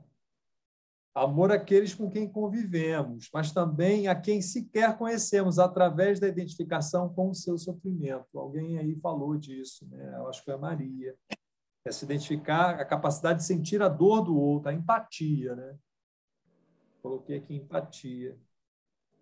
E ela vem cheia de indignação contra quem faz sofrer e, sobretudo, contra o sistema que institucionaliza o sofrimento e a humilhação. A gente está tá bem acostumado com isso nesses últimos tempos. Né? Eu lembrei da raiva justa do, do Paulo Freire. A gente precisa manter a raiva justa. Não tem que ser bonzinho. Tem que ficar com raiva, sabe? Tem que ficar bonzinho, cordeirinho. E ele diz que os sem-teto são tratados como subcidadãos. Subcidadãos. É, isso remete, o Márcio falou aqui, a Ana Arendt, né? cidadãos de segunda classe. São descartáveis, não são cidadãos. O que mais, Márcio? Uma coisa que eu gostei de saber é que o, o Boulos, ele começou aos 16 anos de idade, ele começou, ele participou de um projeto de alfabetização de adultos de rua. Aos 16 anos, com o método da favela do Flamengo, Isa, não sei se vocês sabem onde fica. É, eu vi, é. Eu é com o método Paulo Freire. Né? Uhum. É, Paulo Freire.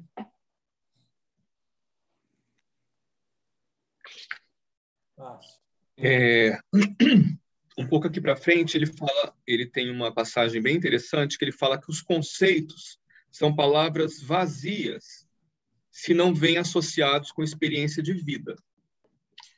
E aí ele fala que ele ele participou de um curso de formação política sobre a exploração dos trabalhadores. E aí tinha lá servente de pedreiro, operador de telemarketing, faxineiros, ajudantes, todas essas ocupações mais, mais precárias da sociedade. E eles estavam tentando explicar o conceito de mais-valia, mas as pessoas não estavam se, se identificando com aquilo, não estavam não estavam né? entendendo, não tinha muito relação, elas não estavam vendo relação do conceito com a vida delas. E aí ele fala que um, um jovem chamado Fábio, que estava participando também do curso, estava lendo Morte e Vida Severina, de João Cabral de Melo Neto. E aí ele viu que ele estava lendo e pediu para ele ler uns trechos para o pessoal. E aí ele leu, as pessoas estavam em silêncio e tal, mas num determinado momento, ele cita que a dona Ana se lembrou de uma história dela de retirante. E aí as pessoas começaram a contar histórias de vida e de exploração. E aí, quando ele viu, já estava todo mundo entendendo o que ele estava tentando explicar antes. Então, aí ele fala: é a partir da sua história que as pessoas se reconhecem no conceito, e não o contrário. Então, é a partir da sua história que as pessoas se reconhecem no conceito. E os conceitos são palavras vazias se não vêm associados com experiência de vida. Bom, né? É, isso aí é, nos remete... Por isso que ele escreveu a... o livro. Sim. O livro é a experiência de vida, né? Isso tem tudo a ver com Paulo Freire, né? com o método Paulo Freire. É. Né? É, você chegar para uma criança que mora na favela e no primeiro dia de aula, como eu tive né, no colégio, é, minhas férias, né? Eu escrevi que eu fui no Pão de Açúcar, né? Assim, no Bondinho. Eu tive férias, mas o menino da favela, será que ele tem férias? Será que ele viaja? Né? Então, assim, vovô viu a uva. O cara não tem dinheiro para comprar nem, nem bujão de gás, vai comer uva, como? Então, assim, o Paulo Freire fala isso, né? Você tem que pegar a experiência que o aluno traz, né? A partir da vivência dele, você vai chegando com os conceitos. Né?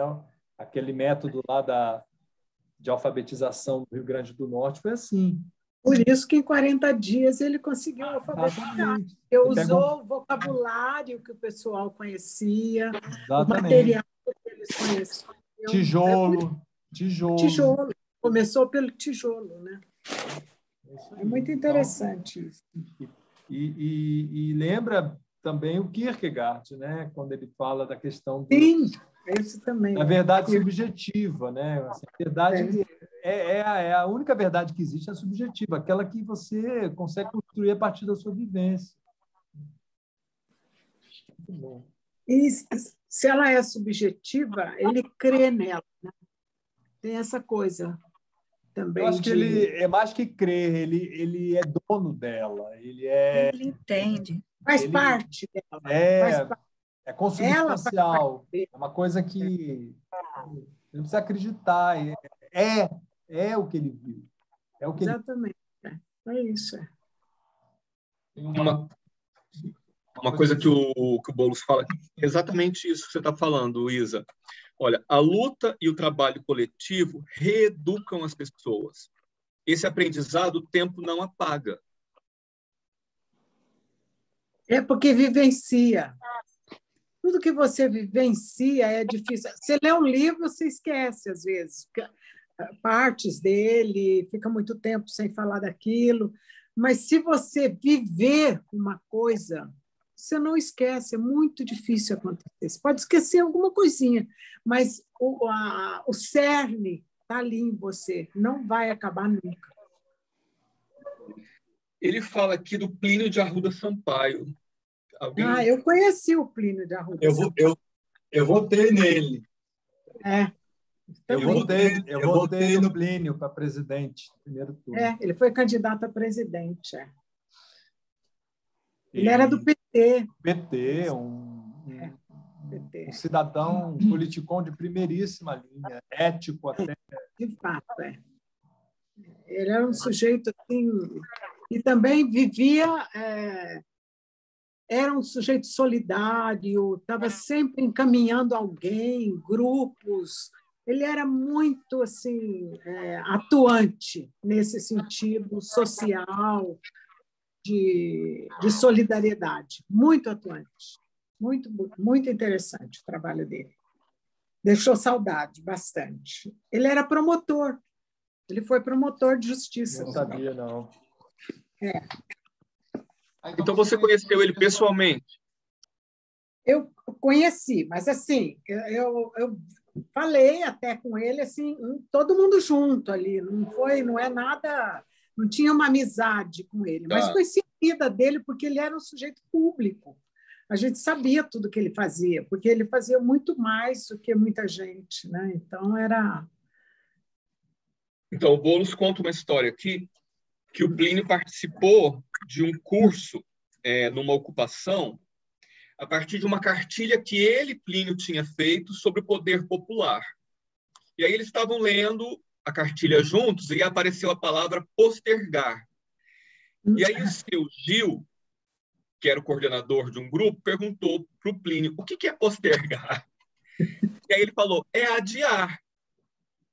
Aí o seu Gil, então por que, que você não escreveu adiar? aí ele respondeu, é porque as, a gente, às vezes, quanto mais estuda, mais burro fica. É, muito bom. É muito bom. E aí o, Boulos complementa. Por detrás da brincadeira, que não deve ser confundida com qualquer apologia ao anti-intelectualismo dos dias atuais, havia um profundo respeito à sabedoria popular. De que serve o nosso conhecimento transformador se não somos capazes de construí-lo e partilhá-lo com as pessoas? É isso aí. Perfeito. Muito bom. Eu adoro essa passagem, acho fantástico. Fiquei feliz de saber que foi o Plínio Arruda que protagonizou. É, essa passagem é maravilhosa. Né? Eu fiquei com uma bronca danada no início do, da tradução lá do. Vocês lembram do Adorno? Tinha umas palavras eram ah, muito. Eu tinha que procurar no dicionário a tradu, né, o tradutor. É verdade. Muito As difícil. palavras, aí eu olhava, era assim, tipo, poxa, era muito mais que isso, assim, uma coisa bizarra. Aí, mas depois eu fiz as pazes com ele, porque ele deu umas notas de rodapé muito esclarecedoras. Mas no início eu fiquei com uma bronca. Poxa, você tem duas palavras. Usa mais simples para as pessoas entenderem. Para que, que você vai traduzir? É, o que as pessoas- né? é a mesma coisa que as pessoas reclamam de um processo, né? É, mas isso aí... judicial, que elas não entendem nada. É um absurdo, porque é um, um linguajar muito deles só. Mas Só isso. Isa, eu acho que tem uma questão de poder aí. Para poder. Não, Você acha é isso? a estrutura de poder, entendeu? É, pode Então ser. você precisa contratar um Você é. contratar uma pessoa, sabe? O fato de contratar um advogado, você diz? É, para ficar uma coisa, justamente ficar uma coisa hermética para você, entendeu? Não, não ter acesso. Não, que não é tanto isso, não. Eu acho que isso é uma coisa que vem, é antiga, é, é uma coisa quientista, sabe assim? É, é, eles têm, têm muitos, hoje já não é tanto mais. Conheço um monte de gente que escreve diferente. Mas eu conheci muita gente que era insuportável, Hum. assim, sabe? É, não tinha necessidade de usar aqueles termos, não tinha, porque não é obrigado, entendeu? Mas tem alguns que ainda mantêm isso. Mas a maioria, já os mais novos, não tem mais isso. Eles já têm uma coisa muito mais prática. Claro, a pessoa com o senso comum talvez não, não entenda, porque é- ela é própria do direito, né? a linguagem. Então, pode, pode não entender um monte de coisas, mas é muito mais fácil hoje, porque senão nem a gente que era estudante de direito era um problema para entender. Num, na hora de fazer um estágio, você pega um processo, você tem que estar com um dicionário também, de direito junto ali. Mas eu, senão- eu me pergunto, Isa, se não é também um pouco a incapacidade da pessoa colocar aquilo nas palavras dela. Ela fica copiando uma coisa que já está escrita, que já foi feita, e só repete, sem, sem Não, pensar muito. Né? É, mas, mas sabe, eu não sei, hoje eu não sei como é que é o curso de direito, eu estou completamente fora disso. Mas antigamente, assim, há 50 anos atrás, tinha uma coisa que era um grupo de pessoas que cultuavam aquele linguajar, entendeu? Eu acho-. Nossa! Opa, consegui. Salve! pouquinho. Oba! Seja Gláucia. Opa, pelo menos um pouquinho. Como diria minha mãe, o espetáculo começa quando você chega. Tá É. ótimo. Obrigada. Então, Márcio, é, as- mu- era muita, muitas famílias entraram no judiciário. Por quê? Os filhos ouviam os comentários dos pais e eles, aquele vocabulário também passou a ser deles. Isso houve uma crítica muito grande, porque todo mundo falava assim: ah, mas só filho de juiz e desembargador que entra pra, no concurso, porque eles estavam acostumados com aquele linguajar. Era muito mais fácil para eles entrarem, normal isso, entendeu? Só que hoje já mudou bastante isso. Isso eu sei porque eu já ouvi os próprios presidentes de tribunais de justiça falarem isso, que tem que mudar, entendeu? Então Entendi. já mudou bastante coisa. Eu tem muito que mudar ainda no judiciário, né? O judiciário tem muita é muito tradicional, aquela coisa lá de 1500 ainda das ordenações filipinas quase, né? Mas é, hoje já mudou bastante coisa. Pra você ter noção, Márcio, em 1983 entrou 82 entrou a primeira mulher na magistratura paulista. A primeira mulher. Era uma opção- na Paulista, porque já tinha em vários outros lugares, mas é a, a mais tradicional. Eu ia dizer que, que São Paulo é vanguarda, mas nesse ponto aí não é, então, né? Não, nesse ponto- não, mas tem muito juiz dentro que no trabalho eles são vanguarda, sim. Ah, entendi. É, tem muita gente, é, muito. Eu conheço muita gente. É, o- Eu acho que é, é tão diverso que deve ter de tudo, né? Tem, tem é de muito tudo. diverso, é muita gente em São Paulo. tudo, muito- Inclusive, às vezes, você percebe um certo. Assim, como é que eu posso dizer isso? Não é um, pouco caso, mas é uma coisa. Alguns que são desses mais modernos, que eu quero dizer, que eu acho que é o certo, não precisa ter esse linguajar maluco, que isso aí para mim é loucura já, não tem necessidade nenhuma. É, eles fazem um certo, tem um certo assim, desprezo pela, por essa forma, assim. Então, mas tem muita gente que luta por isso, sabe? Tanto no Ministério Público quanto a magistratura, mas a magistratura é muito pior que o Ministério Público. O Ministério Público é muito mais, é, como é que é? É muito mais é político. O Ministério Público é muito político, sabe? Mas a magistratura não, ela vive enclausurada ainda. É, é, é uma coisa fechada demais mas isso faz parte desse sistema que demora para poder mudar, né? Essas coisas já mudou muito, nossa senhora. Você não tem noção do que é. Vamos Assim, lá, quando eu Márcio. falei no. É. Vamos lá, Márcio. Continuando aqui, ele fala o seguinte, que a solidariedade exige compromisso. E aí ele cita o exemplo da dona Railda, que era uma, uma senhora, ele fala aqui, baiana, doméstica, analfabeta, e deu a maior lição de radicalidade que eu tive na vida. Ele conta que ela era super animada, que ela chegava é, ela era muito guerreira, estava sempre à frente de tudo na, na ocupação. E aí, um dia, é, eles precisavam resolver alguma coisa, precisavam que o poder público tomasse uma decisão que, que não estava sendo tomada, e eles resolveram se acorrentar na frente da prefeitura, da prefeitura. E aí foram os mais jovens. E aí, de repente, a dona Railda apareceu lá também, achou um pedaço de corrente e se algemou no portão lá em frente à prefeitura.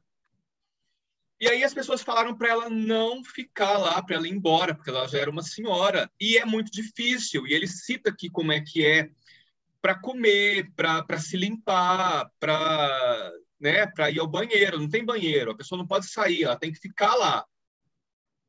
E ela ficou os 11 dias lá acorrentada, a dona Railda.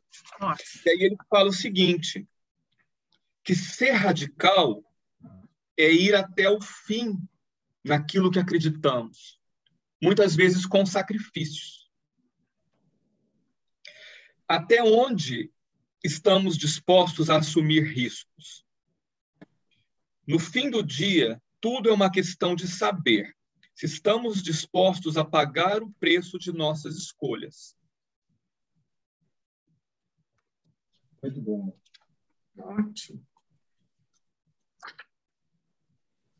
Eu não cheguei nesse lugar, achei. É excelente, essa, essa parte é muito bonita, muito bonita. No fim de, do dia, tudo é uma questão de saber se estamos dispostos a pagar o preço de nossas escolhas. Que página que é? Ah, 36. uma coisa que, ô Márcio, não sei se você vai falar disso, é, mas o, o Boulos ele, ele diz assim que, que muita gente acha que quem está no movimento do, do sem teto, quando quando consegue uma casa, né, é, a pessoa larga o movimento, já consegui minha casa, acabou, já minha missão cumprida, já agora eu vou tocar minha vida, fazer outra coisa. Né? Você vai falar disso? Pode falar. Não, fala aí. E, e aí ele dá o exemplo de várias pessoas que conseguiram a casa própria e continuam no movimento. Cinco anos, dez anos, elas continuam lá. Porque o, é aquilo que eu tinha lido antes aqui, eu vou reler. Esse aprendizado coletivo, a luta e o trabalho coletivo reeducam as pessoas. Esse aprendizado, o tempo não apaga. Por trás das paredes frágeis de um barraco, existem histórias de vida extraordinárias, histórias de sofrimento e superação. E, acima de tudo, histórias de solidariedade. Ao superarmos o preconceito e nos dispormos a aprender com elas, tornamos-nos mais humanos.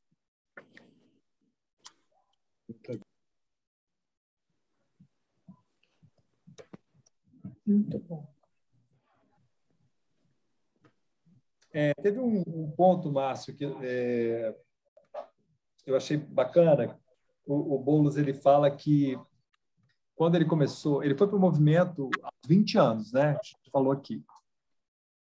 E aí ele ele ouviu muitas vezes a pergunta assim: por que que você que não é sem teto está na página 29. Por que você que não é sem teto foi atuar no movimento sem teto? Né? Alguns chegavam a insinuar que a minha opção seria uma hipocrisia, que eu estava utilizando politicamente a dor das pessoas. Aí eu, eu me lembrei disso aqui.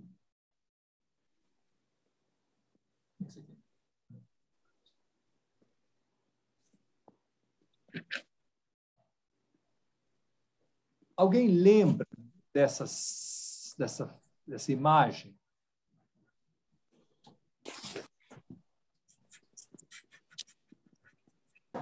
Aquela Ai, moça lá da Candelária? Da Candelária. Exatamente, exatamente. É, Foi o massacre da Candelária, né? Candelária. Em 1993, em julho de 93. Não lembro o nome dessa moça, mas ela permaneceu junto com esse grupo e foi muita polêmica na época, né? Por que, que ela.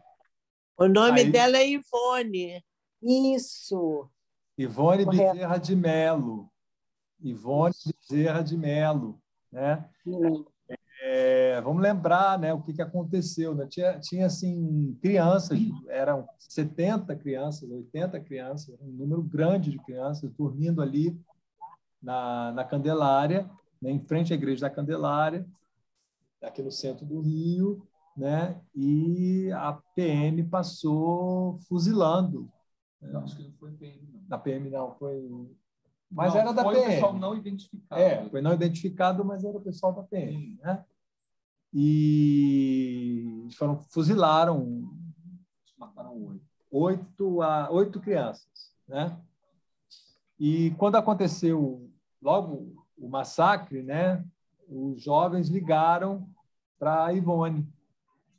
E nessa época, a Ivone, que é pedagoga, ela, ela dava aula para crianças em situação de rua debaixo de um viaduto.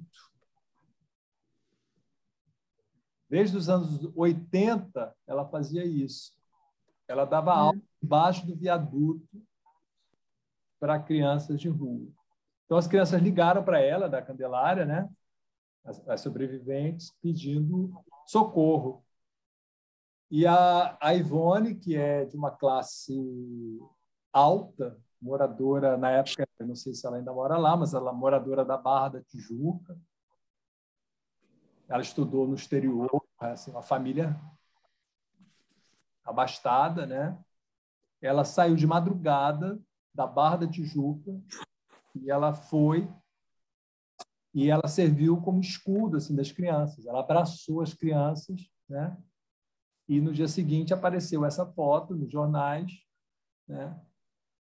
é, dela ali protegendo as crianças. Né? É, isso a, a Lourdes falou da polêmica, né? Eu lembro que muita gente falou que ela estava fazendo isso para aparecer, para se promover, não foi, Lourdes? Você lembra disso? Foi exatamente disso.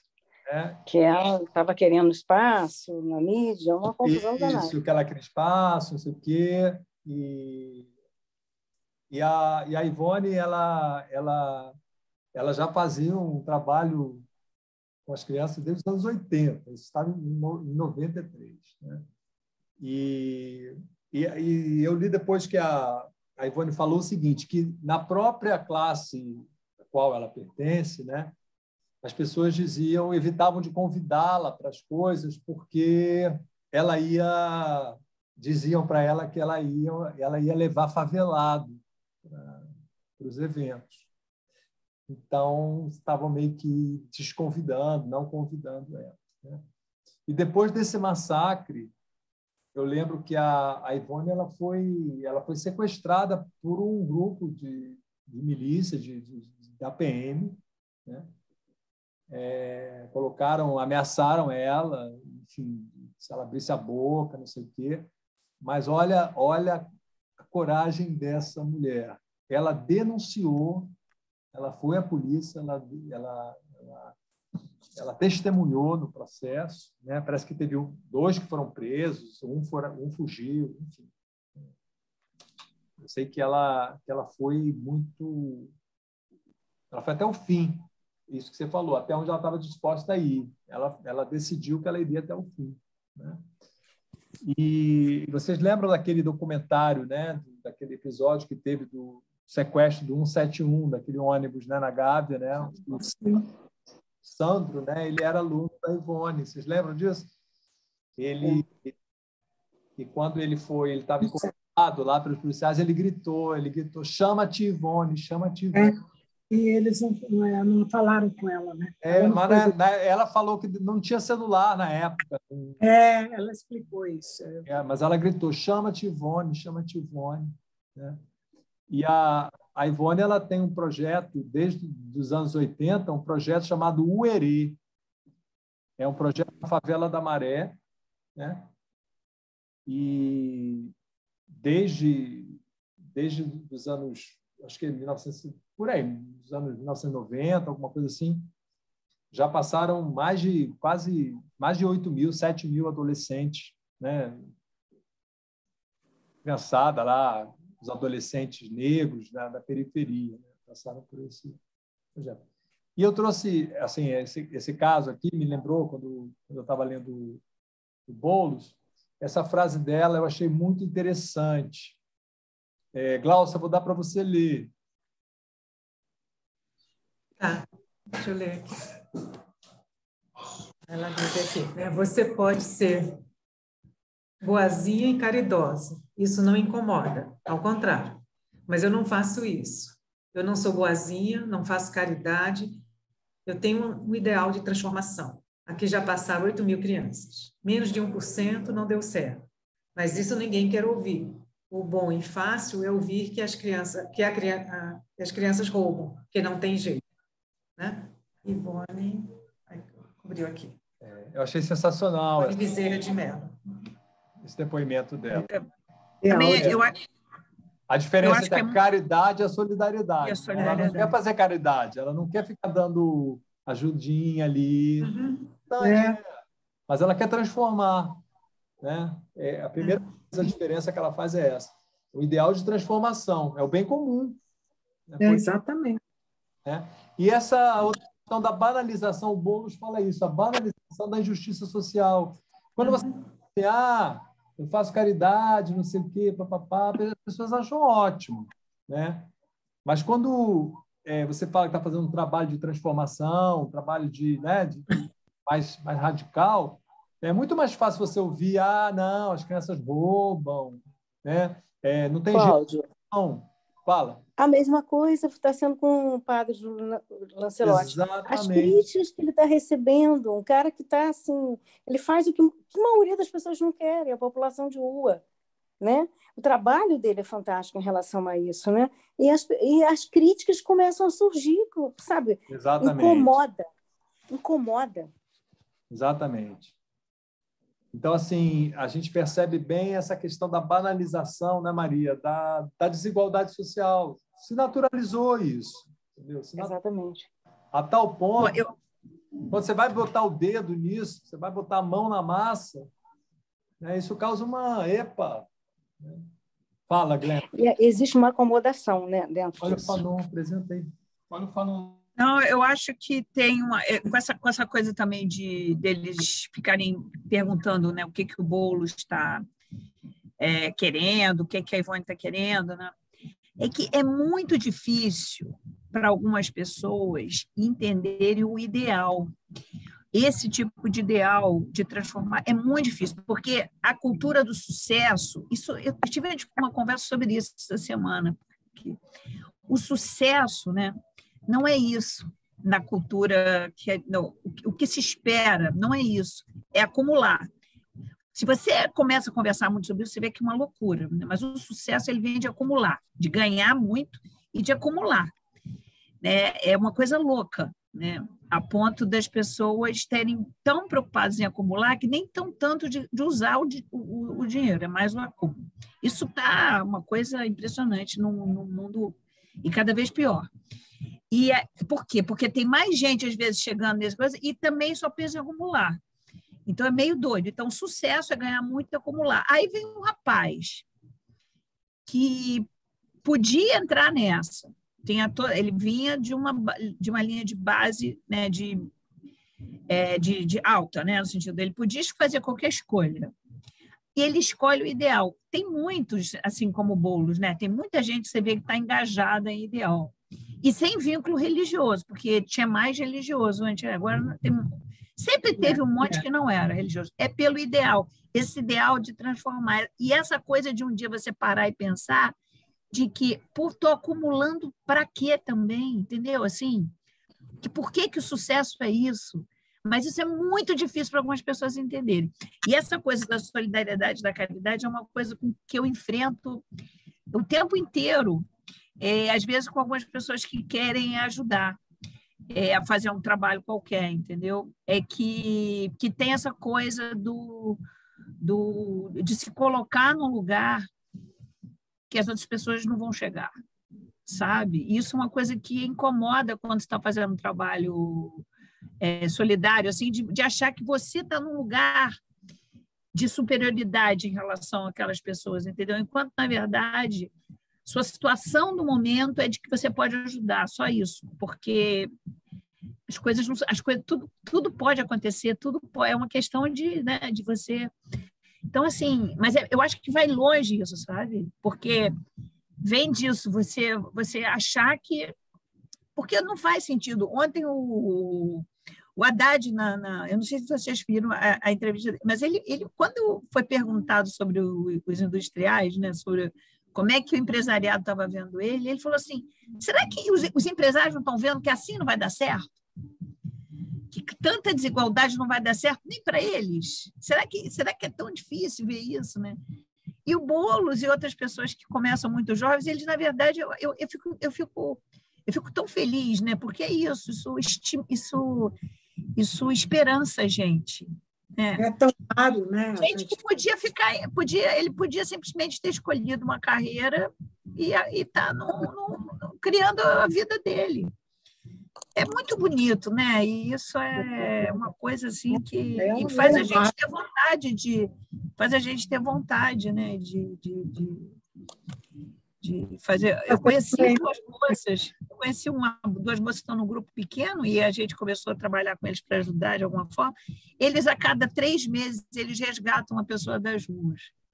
Eles só não conseguem é, ainda, porque não tem estrutura, com pessoas em situação de dependência química, porque isso é muito difícil.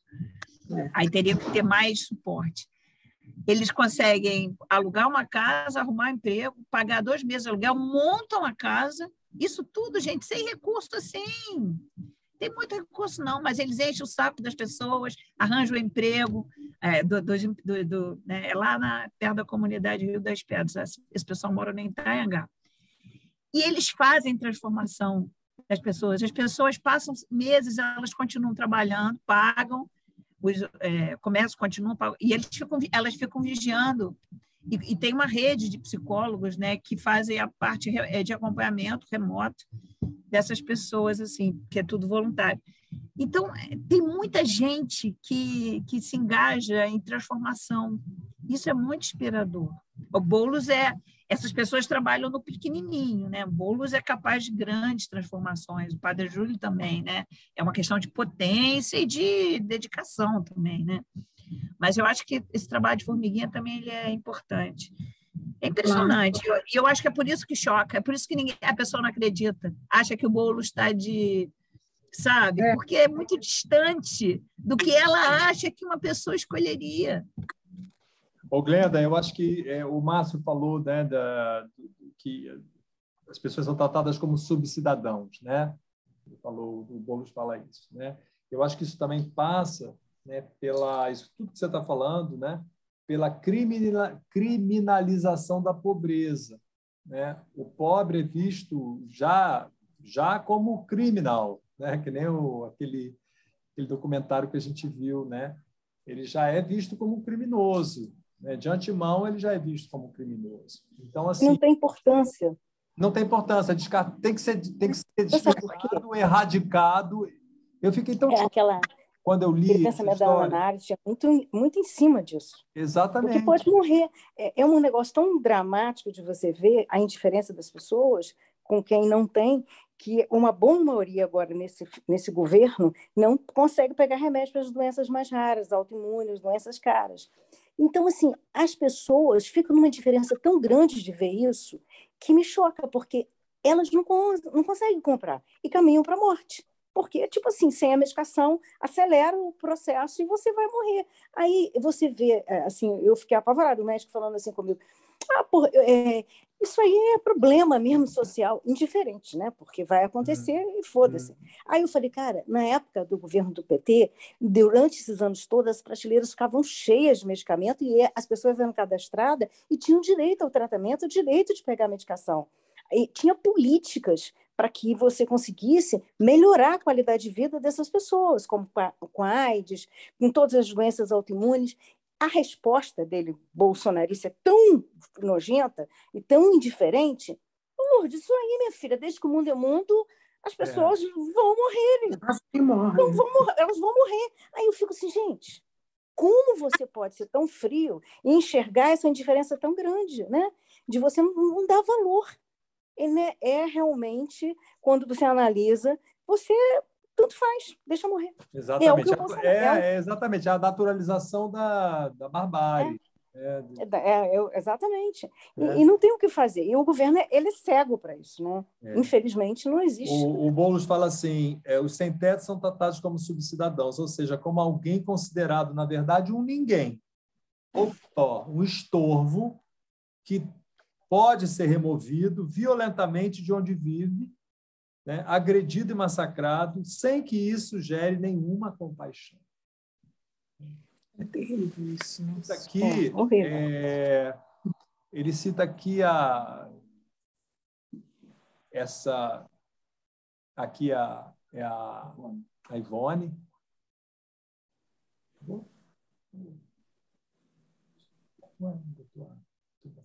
Ele cita aqui a, uma secretária de Porto Alegre, né? É, ah, aquela do cachorro, né? Do cachorro, né? O sem teto vale menos do que um cão ou um pet, como disse é. uma secretária de Desenvolvimento Social de Porto Alegre, né? É, o nome dela é, é Comandante Nádia, né? É, e ela, ela, ela declarou o seguinte: isso em 2018, ela já não é mais a secretária. Mas vamos, vamos ouvir, o Boulos fala dessa, dessa ele diz que bizarra, ele, ele cita essa declaração, e eu, eu fui procurar e, e encontrei. A declaração é o seguinte: Isa, você gostaria de ler? Eu leio. Nós não vamos admitir uma cidade uma praça que esteja cheia de morador de rua. É um lugar público e as pessoas não podem levar seus filhos, seus pets. Não têm condições de caminhar nem em uma calçada, porque uma pessoa se acha no direito de morar na rua. Mas ela não tem onde ficar, meu Deus. Nádia. Essa, essa frase é uma das frases mais tortas que eu já, que eu já li né? na minha vida. Nunca é, parou para pensar nisso, na, no que ela fala. Eu desmembrei é, essa, essa criatura, comandante Nádia. Ela, ela é secretária de Desenvolvimento Social e Esporte de Porto Alegre, em 2018. A gente comentou isso na Casa Vitral. Isso, eu, passei, eu cheguei a comentar isso. Eu destrinchei a frase em três pontos. Né? Primeiro, ela fala assim: nós não vamos admitir uma cidade, uma praça, que esteja cheia de morador de rua. Então, como a Isa falou, mas morador de rua vai para onde? Nem isso. Pois é. Tá na Pois rua? é. Ele está na rua, ele vai para onde? Né? É. Mas, ô, ô, Cláudio, ô, Cláudio, a Ah. primeira frase em si não tem problema. Nós não vamos admitir. Por isso, vamos fazer pá, pá, pá, pá, pá, acontecer para ele não estar lá. Sim, sim. Primeira frase, beleza. Não, ela não disse assim, é indecente que haja É. gente morando na rua, vamos construir É. milhões de Pois é. casas aqui em Porto Alegre. Pois não, é. não, não. Na- aqui na praça não dá, porque tem o contexto depois, né? Ela fala assim, quer ver? Ó, ó, é um lugar público. E É, pois é, se é público. As Olha aí. pessoas não podem levar seus filhos, seus pets. Então, morador de rua não é pessoa. Não é pessoa, esse é o princípio. Né? Olha É. só, não é pessoa. Porque um morador de rua que tem um pet, ele não pode passear na praça? Mas você sabe que aqui, aqui, aqui no, que eu não moro mais no Leblon, mas no Leblon tem uma associação que fala para não dar esmola de jeito nenhum e que tem, a- é, como é que é o nome mesmo? Ara, acarofobia? Como é que é o nome desse, desse, desse nome que de quem tem medo, de quem não A gosta de pobre? porofobia, Hã? a, a, a porofobia, Mas, mas é uma Parafobia. fomentam mesmo, é. É. E, e, e não pode, né? Você sabe que você sabe que por que, que eles ficam muito no banco? Você reparou que perto de banco tem um Claro, monte, né? claro. Aí, mas não é por causa do, não é só porque acha que vão receber mais dinheiro, porque isso não acontece por causa das câmeras. Hum, Porque na verdade é, você não pode, as pessoas não podem maltratar. As sim, pessoas sim. têm o direito de ficar na rua. Elas não nem obrigadas a ir para o albergue, Não, pode. tem mais vaga em albergue do que do que Morador tem de rua. é, não tem mais morador de rua mas mas tem vaga sobrando entendeu mas as pessoas não são elas não são obrigadas a ir existe uma, uma escolha né então é muito é uma situação muito delicada e eu fiquei muito impressionada que eu sempre achei que as pessoas gostavam de ficar perto do banco porque achavam que mas não vão porque o banco dá dinheiro inteiro as pessoas não dão Moeda, é, moeda. é, Ou- não dão ou- 20 ou- reais, né? é. Muito caro. É por causa ganhei das câmeras. Eu fiquei tão- foi o Léo Mota que falou. Eu fiquei tão impressionada com isso. Então, Glenda, essa é a- fala. Porofobia mesmo. É a porofobia. A definição é Aporofobia. refúgio, aversão ou desprezo pelos pobres ou desfavorecidos. Hostilidade para com pessoas em situação de pobreza ou miséria. Do grego, a poros, pobre, desamparado, sem recursos, mais fobia. Bom, é,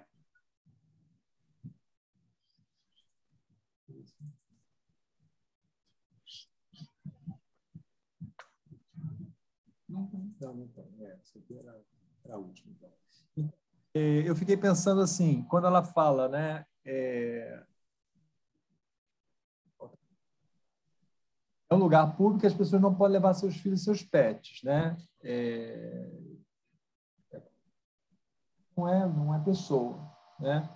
E, e eu fiquei pensando também na, na questão assim, esse negócio de morador de rua, esse clichê, né? essa repetição, ah, é morador de rua. Você, eu lembrei do Eichmann, né? Aquela fala robotizada, automatizada. É. É, morador de rua já é aquela pessoa que você já criminaliza, né? É, é o que o Márcio estava falando, o Boulos fala, né? Dentro de cada barraco, a pessoa tem uma história, tem uma vida ali, tem, tem, né? Tem, ela Nossa, cada história. não, né?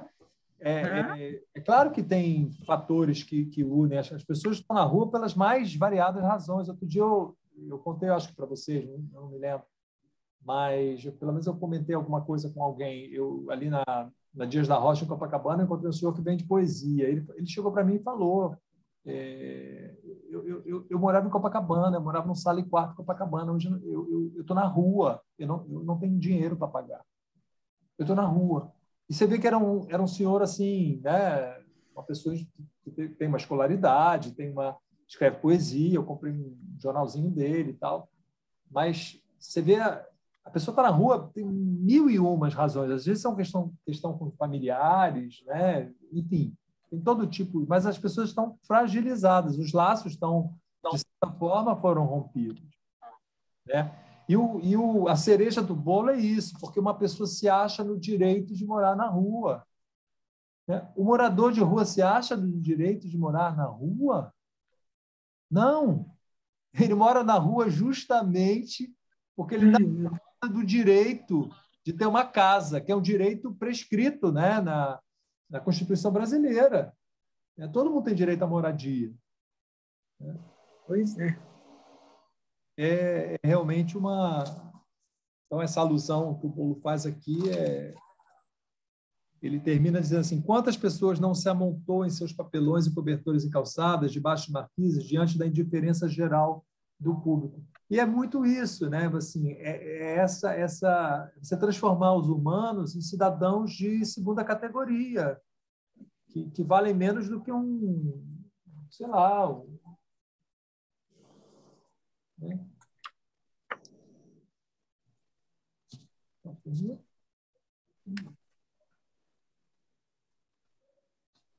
Assim, a questão que acho que a gente tem que colocar, né, assim,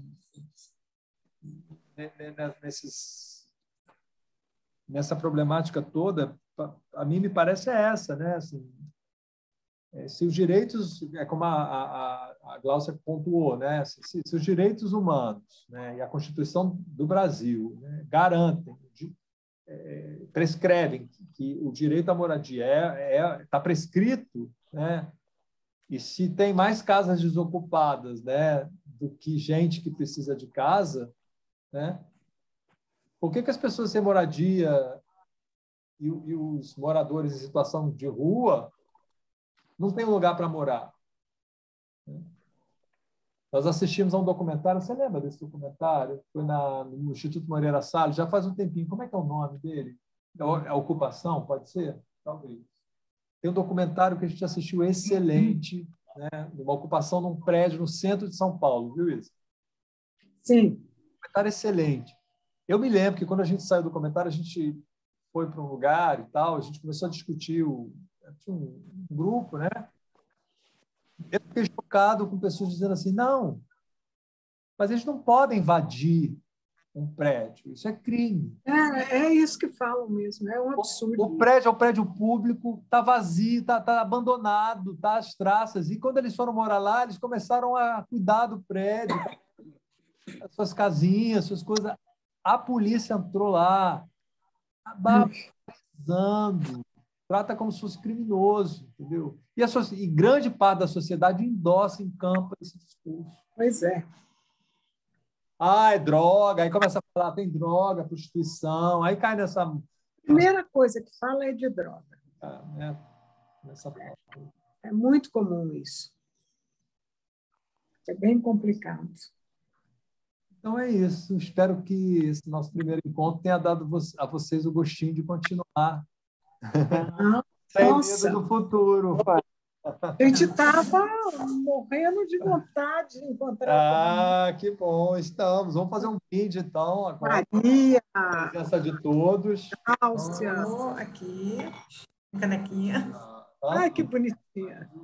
Minha canequinha aqui do Instituto da Manuela Dávila, do Se Eu Fosse ah, Você. Ah, que legal. Com todas as mulheres.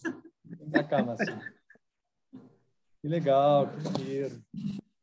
Estava sentindo saudade, Cláudio, das aulas, de aprender. Ah, que ah, é, pois é, pois é, porque as faz mesmo, faz falta. Ai, foi ótimo, nossa, foi muito bom, é. eu gostei. Muito bom mesmo sendo distante, eu acho que é a única maneira. A gente precisa disso. Continuar né? estudando. É, é. Eu acho que tem que ser essa, né? Até as coisas se acalmarem, a gente ter segurança para estarmos juntos. É. Então vamos lá, quem está faltando aí? Cadê Paulé? Marilda? Marilda, a Marilda saiu. Cadê Marilda? Pega o livro, Marcinho. Pega o livro, mostra o livro aí.